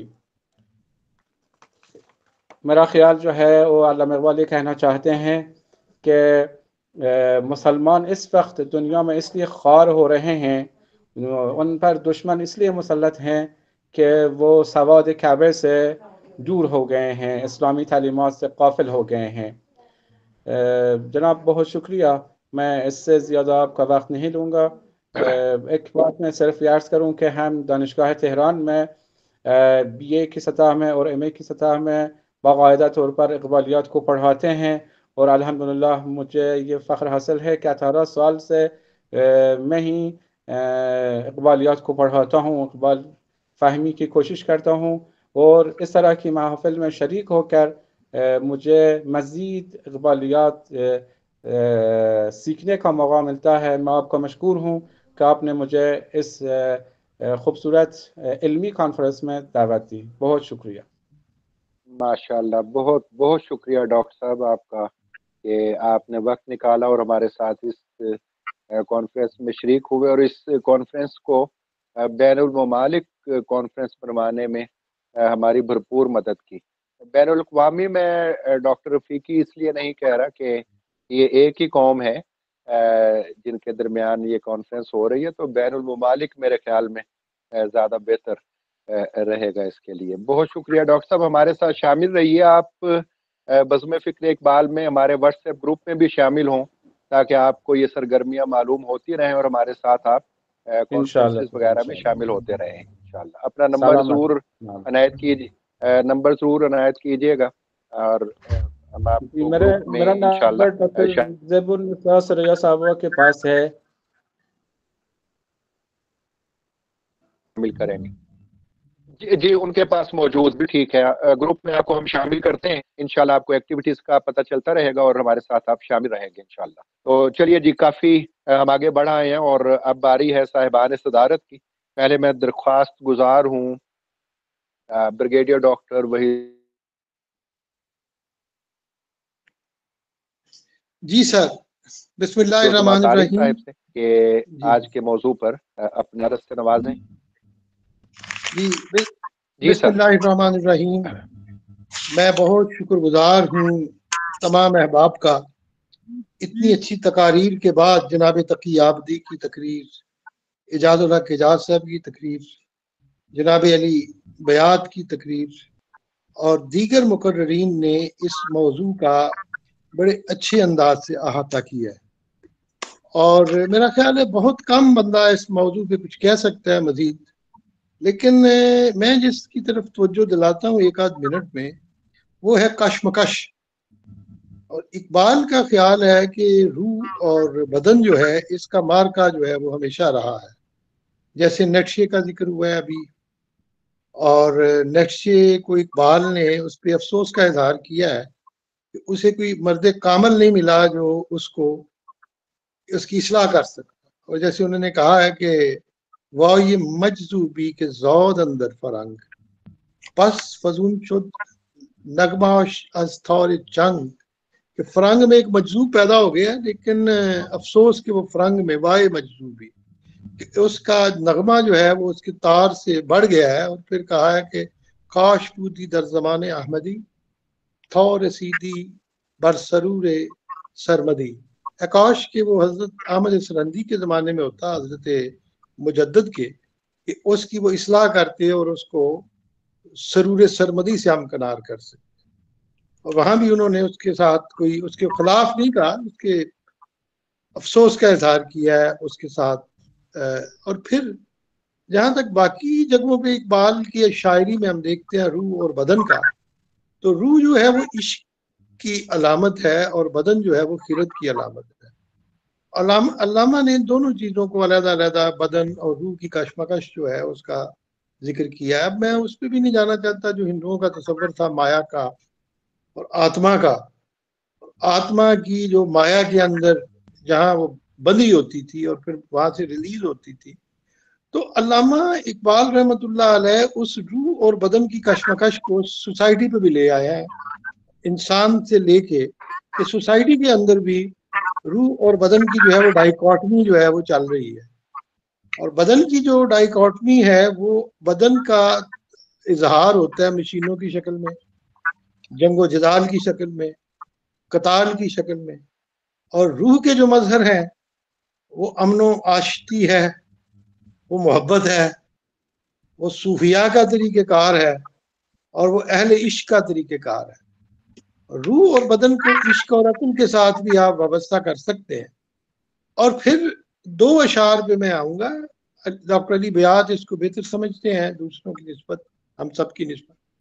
मेरा अपना बैकग्राउंड जो है वो फारसी की तरफ़ ज़्यादा है।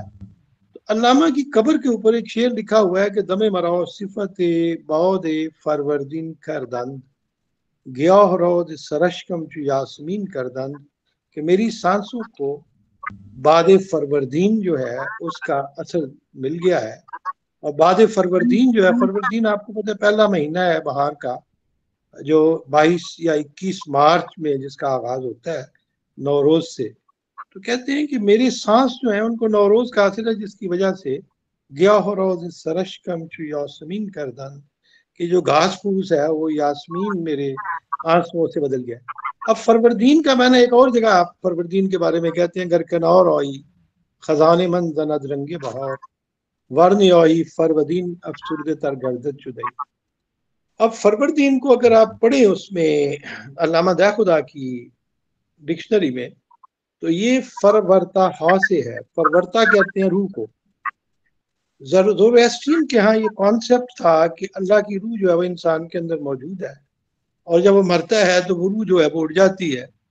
और फिर वो रूह किसी और में जब जा जाती है तो बुज़ुर्गों की जितनी भी वो रूहानी कुतें होती हैं, वो उस रूह का हिस्सा बन जाती है। अब यहाँ पे इकबाल का ये है कि मेरा दम जो है, मेरी सांस, उसको वो रूहानियत के असरात अता हो गए हैं, जिसमें मेरे पिछले जितने भी बुज़ुर्ग हैं, रूमी है अतार है जिसे उन्होंने उर्दू शेर में कितने अंदाज, दो अशार में कहा कि फिरदौस में रूमी से ये कहता था, सनाई, मशरक में अभी तक वही कासा है, वही आश। हल्लाज की लेकिन ये रवायत है कि आखिर एक मर्द कलंदर ने किया राज खुदी फाश। यहाँ राज खुदी जैसे उन्होंने बड़ी अच्छे अंदाज से फरमाया है डॉक्टर इजाजुल्ला एजाज ने तो राज खुदी जो है, वो भी रूह की एक मैनिफेस्टेशन है, जिसका उन्होंने ज़िक्र किया। इस शेर में, जिसमें मैंने थोड़ा फिर अर्ज़ करूँगा, घर कनार आई, बहार मंद नद, खजाने मंद नद रंगे बहार, अगर मेरे पास आ जाओ, खुदा की वो रहमत को कहते हैं तो मेरी खजान जो है, वो बहारों में बदल जाती। वरनी आई फरवदीन अफसुरद तर गर्द जुदाई और ना आओ तो मेरा फरवरदीन जो है, मेरी रूहानी कुत वो भी दया का शिकार हो सकती है। और दया जो है, ये अगर दसवां महीना है, सर्दियों का महीना फारसी में। लेकिन दय देव से भी उसकी अलामत है डेवल के साथ। तो फिर मैं उसमें चला जाता हूँ। इसी कशमकश को हम उनके जावेदनामा में भी देखते हैं, जहाँ वो जरतुश और अहरमन का मुकालमा जहाँ लाते हैं कि जहाँ अहरमन कहता है जरतुश को कि आज तू मखलूक़ात मन नौलन चुनई आज तुम्हारा फरवदीन मानिंद दई। और यहाँ भी दई का लफज है। तो इकबाल को अगर डीपली पढ़ा जाए उनके फिलोसफी के अंदाज से तो रूह और जहाँ तक बदन का ताल्लुक है, बदन का जहाँ तक ताल्लुक है, बदन रूह के बगैर जो है, वो किसी काम का नहीं रहता। फिर वो मटीरियलिस्टिक हो सकता है और फिर वो इसी तरीके से सेकुलर निज़ाम के बारे में उन्होंने कहा गॉडलेस सिस्टम और जैसे उन्होंने कहा ना कि जुदाहुद्दीन सियासत से तो रह जाती है चंगेजी जब रूह के असरात आप पे ख़त्म हो गए और आप किसी ज़ाते बारी ताला को जवाब दे नहीं है तो फिर आप चंगेज हो जाते हैं। तो इसकी मैनिफेस्टेशन बहुत ज़्यादा मैं आज डिटेल में इसलिए नहीं जाना चाहता कि ये मौका नहीं है, वरना मैं इस पर वजाहत करता। लेकिन मुझे खुशी ये है कि मेरे पहले मुकर्रीन ने इसको बड़ी खुश असलूबी के साथ बयान किया है। मैं इनशाला इसको किसी पूरे एक लेक्चर की शक्ल में, रूह के कॉन्सेप्ट को जोरोस्टन कॉन्सेप्ट इस्लामिक कॉन्सेप्ट रूहानियत, तसव्वुफ प्योरिफिकेशन और फिर मादा और फिर इंसान और इंसान के जिस्मानी जो ज़रूरियात हैं या जिसम की वजह से जो उसके मसाइल हैं, उसकी तरफ़ अभी मैं नहीं जाऊँगा और मैं इसी पे इतफा करता हूँ। अल्लाह ताला आपको मजीद तोफ़ी कतार फरमाए। और ये सिलसिला जो है वो जारी सारी रहे। वमा बलाग थैंक यू वेरी मच बहुत शुक्रिया, डॉक्टर साहब। Doctor brigadier doctor Waheed Usma Tariq Bazm Fikr Iqbal, Pakistan के सरपरस्त, और आज की इस महफिल के अमीर।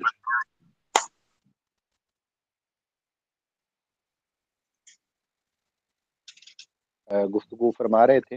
अब मैं सबसे आखिर में आज की इस तकरीब के सदर डायरेक्टर इकबाल अकादमी, डॉक्टर अब्दुल रऊफ रफ़ीकी साहब से दरख्वास्त गुजार हूँ कि वो अपने ख्याल आलिया से नवाजें। डायरेक्टर इकबाल अकादमी, डॉक्टर अब्दुल रऊफ रफ़ीकी साहब।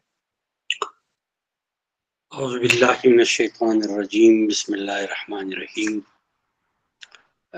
आप तमाम हजरात का तह दिल से ममनून हूँ कि आज के इस अहम तकरीब में, इस तालब में इकबाल को बहुत कुछ सुनने को नया मिला और कई फ़िक्र अंगेज पहलुओं से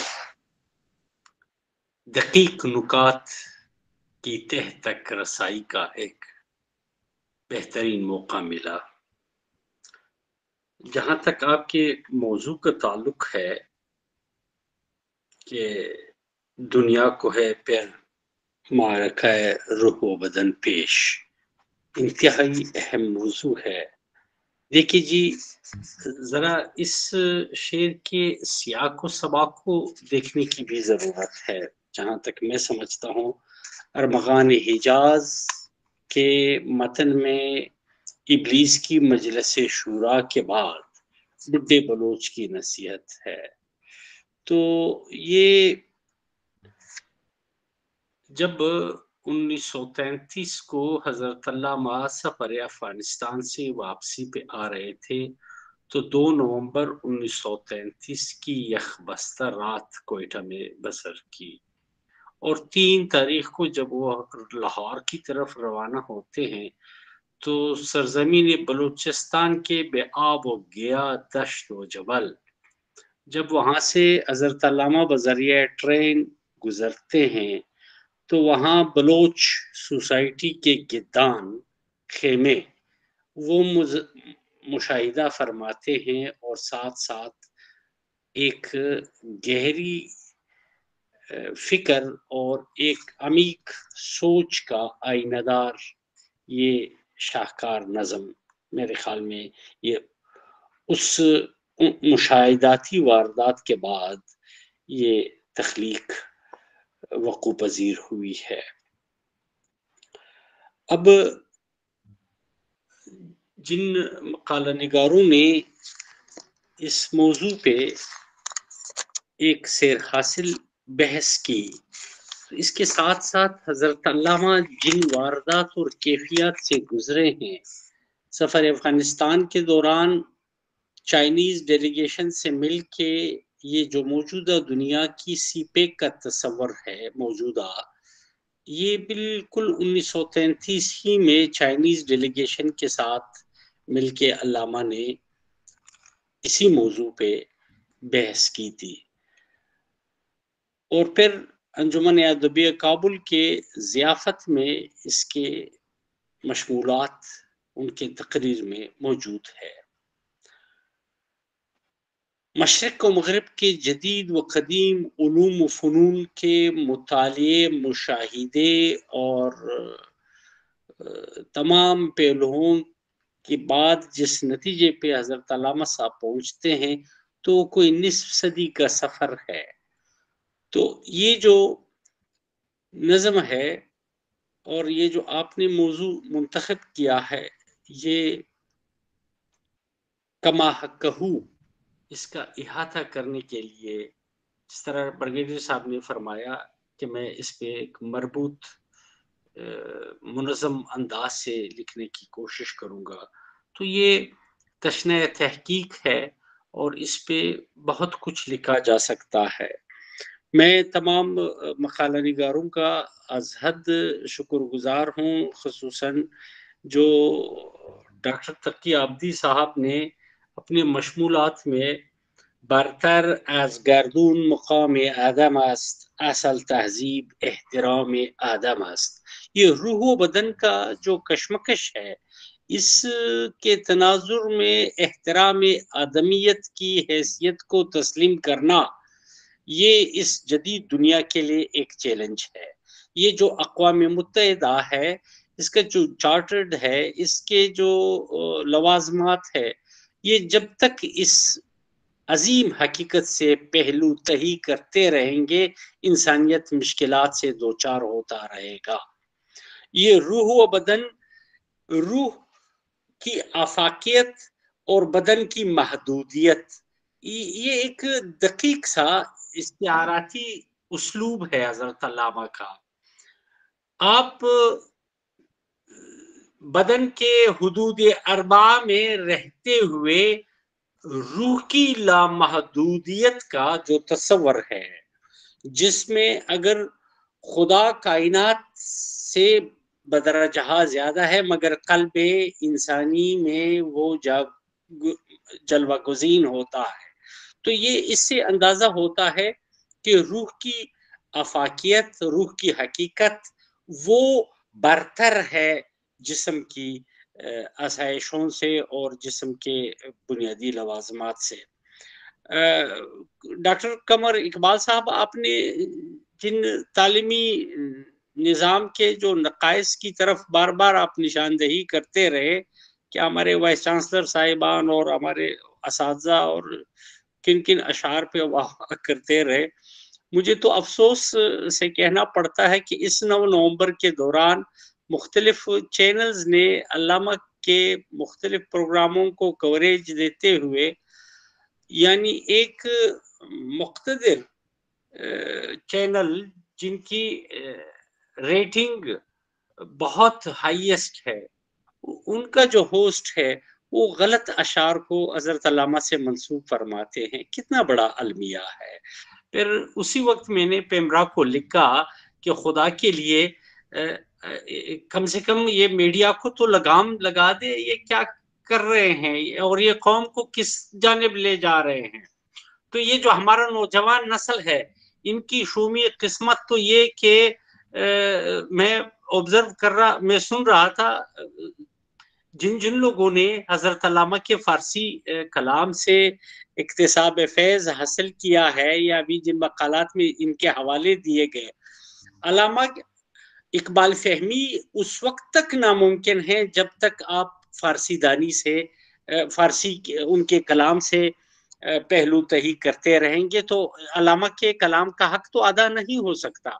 और अलमिया नए नस्ल का ये है कि वो फारसी के अलिफ बे से बेखबर है और बल्कि घबरा रहे हैं।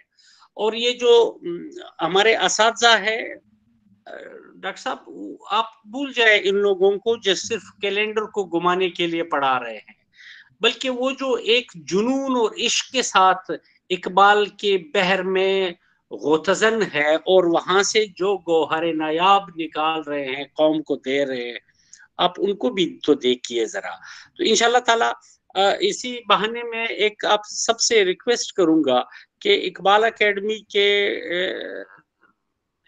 डायरेक्टर की हैसियत से आप सबसे ये इल्तमास है कि आप दुनिया के किसी भी खत्े में है और ये आपने जो अकवाम, एक कौम का एक नया अच्छा अतलाह यूज़ किया है, बारकल्ला, मैं सबके बेहतरीन नज़रियात, आइडियाज़ और जितने इकबाल फहमी, इकबाल शनासी, इकबाल के फ़िक्र की तरवीज और फ़रोग के लिए जो जो तजवीज़ जहाँ जहाँ से दुनिया के जिस जिस गोशे और कोने से मुझे मिलेगा मैं खुश आमदीद कहूँगा। और सरकारी सतह पे और जो जिस तरह से भी हुआ इन ताला सब के एफर्ट्स को वेलकम कहा जाएगा। आ, इसी जिस तरह डॉक्टर खुरम यासीन साहब ने आर्टिफिशियल इंटेलिजेंस के हवाले से एक नए बहस का आगाज़ किया जो इकबाल फहमी में एक कलीदी रोल प्ले कर सकता है, बिलखसूस नए नस्ल के हवाले से। तो मैं आपके इस सेमिनार के तवसत से, डॉक्टर खुरम यासीन साहब से गुजारिश करूँगा कि कभी हमें ज़्यारत का मौका दीजिएगा, हम आपका दीदार करेंगे और आप वक्त निकाल के कभी अकेडमी तशरीफ़ लाए। आपके इस आइडिया से गो के हमने आईटी के मुख्तलिफ़, जब से मैंने चार्ज लिया है, मैंने आईटी और ई लाइब्रेरी और ई इकबाल फहमी के हवाले से कई चीज़ें आगे बढ़ाए हैं, इनिशिएट किए हैं, जो मेचोर आहिस्ता आहिस्ता मेचोर होते जाएँगे। मैं आपसे रिक्वेस्ट करूँगा कि आप कभी तशरीफ़ लाए ताकि आपसे बिलमुशाफा नए नए आइडियाज़ सुन के हम किस तरह उसका मैकेनिज्म डिज़ाइन कर सकते हैं और किस तरह इसको इम्प्लीमेंट करके प्रैक्टिकली हम इसको पेश कर सकते हैं। जितने लोगों ने अरकरेजी के साथ मकालात पेश किए और डॉक्टर एजाज, हक एजाज साहब और दिगर जो साथी थे बहुत उम्दा। ब्रिगेडियर साहब से हम तो रखते हैं कि वो कदीम हिंदूमत की थ्योरीज और कदीम फारस, यूनान और मगरब के नज़रियात के साथ इकबाल के इस एशियाई मशरकी और इस्लामी रूह के एक कंपेरेटिव स्टडी के साथ एक मरबूत, जिस अंदाज से माशाल्लाह पहले भी काम किए हैं और इस नए काम को जिस अंदाज से इन ताला ब्रिगेडियर साहब अपने इल्म और अपने कमाल के साथ अदा कर सकते हैं। हम उनके इन गर्शात के लिए चशमबर्रा रहेंगे। गो के मेरी तबीयत थोड़ी सी बोझल थी। मैं आज सफ़र करके आया हूँ और नासाजी तबीयत के बावजूद भी खुदा ने मुझे ये तोफीक दी कि आपके सेमिनार में आखिर तक शिरकत कर सकूँ। आप तमाम अहबाब के कदरदानी और कदर अफजाई का मशहूर हूँ। बिलखसूस डॉक्टर कमर इकबाल साहब से ये इल्तमास है कि कोताबीनों को ज़रा दरगुजर फरमा क्योंकि आला अहदाफ तक पहुँचने के लिए हमें अभी इश्क इम्तिहान और भी है। इन ताला हक गालिब रहेगा और परवरदिगार हक के साथ वल्लजीन इंशाल्लाह ताला गैब से परवरदिगार मदद फरमाते हैं और आपके ये जो इवेंट्स है कोविड से लेके अभी तक जिस कामयाबी और कामरानी के साथ जा रहे हैं, जो आप महदूद वसाइल के साथ लामहदूद नतज कौम को दे रहे हैं इन ताला इसका नियमल बदल परवरदिगार आपको ज़रूर देगा। जजाकल्ला बहुत शुक्रिया डॉक्टर साहब, और आपका मशवरा जो है वो भी सर आँखों पर, क्योंकि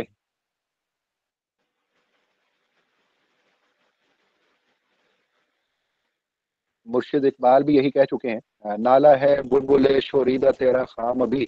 ये नाला नापुख्ता है ये हम प्रैक्टिस कर रहे हैं रियाज कर रहे हैं। पुख्ता हो जाए ज़रा तो इनशाला मैदान अमल में भी निकलेंगे। मैं इंतहाई शुक्रगुजार हूँ डॉक्टर अली बयात का जिन्होंने ईरान से हमारी सरपरस्ती फरमाई और डॉक्टर सैयद तकी आबदी साहब का दिल की गहराइयों से शुक्रगुजार हूँ। कनाडा से हमारे साथ वो आखिर तक माशाल्लाह रहे। और इसी तरह से doctor Ejazul Haq Ejaz Saheb, doctor Khurram Yasin, doctor Mahmood Ali Anjum और डॉक्टर आमिर इकबाल मुख्तफ शाखों के सदूर हैं। ये हमारे साथ शामिल रहे। और पस पर्दा जो रहते हैं हमारे नौजवान इकबाल के आशिक doc joint secretary Bazm Fikr Iqbal के मरकजी जॉइंट सेक्रेटरी जैन साहिब बहुत काम करते हैं, माशाल्लाह, और ये सारा प्रोग्राम उनके तोसत से ही आप तक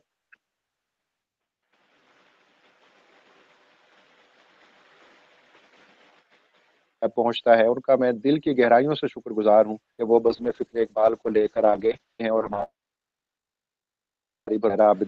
करने में जो शुरा हैं, सुनने वाले, उनका भी मैं तह दिल से शुक्रगुजार हूँ कि शुरू से आखिर तक हमारे साथ बहुत से अहबाब शामिल रहे।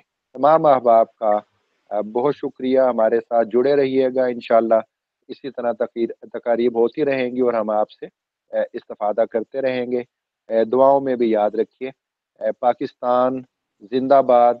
जॉइंट सेक्रेटरी जैन साहिब तकरीब के ख़ात्मे का ऐलान कर।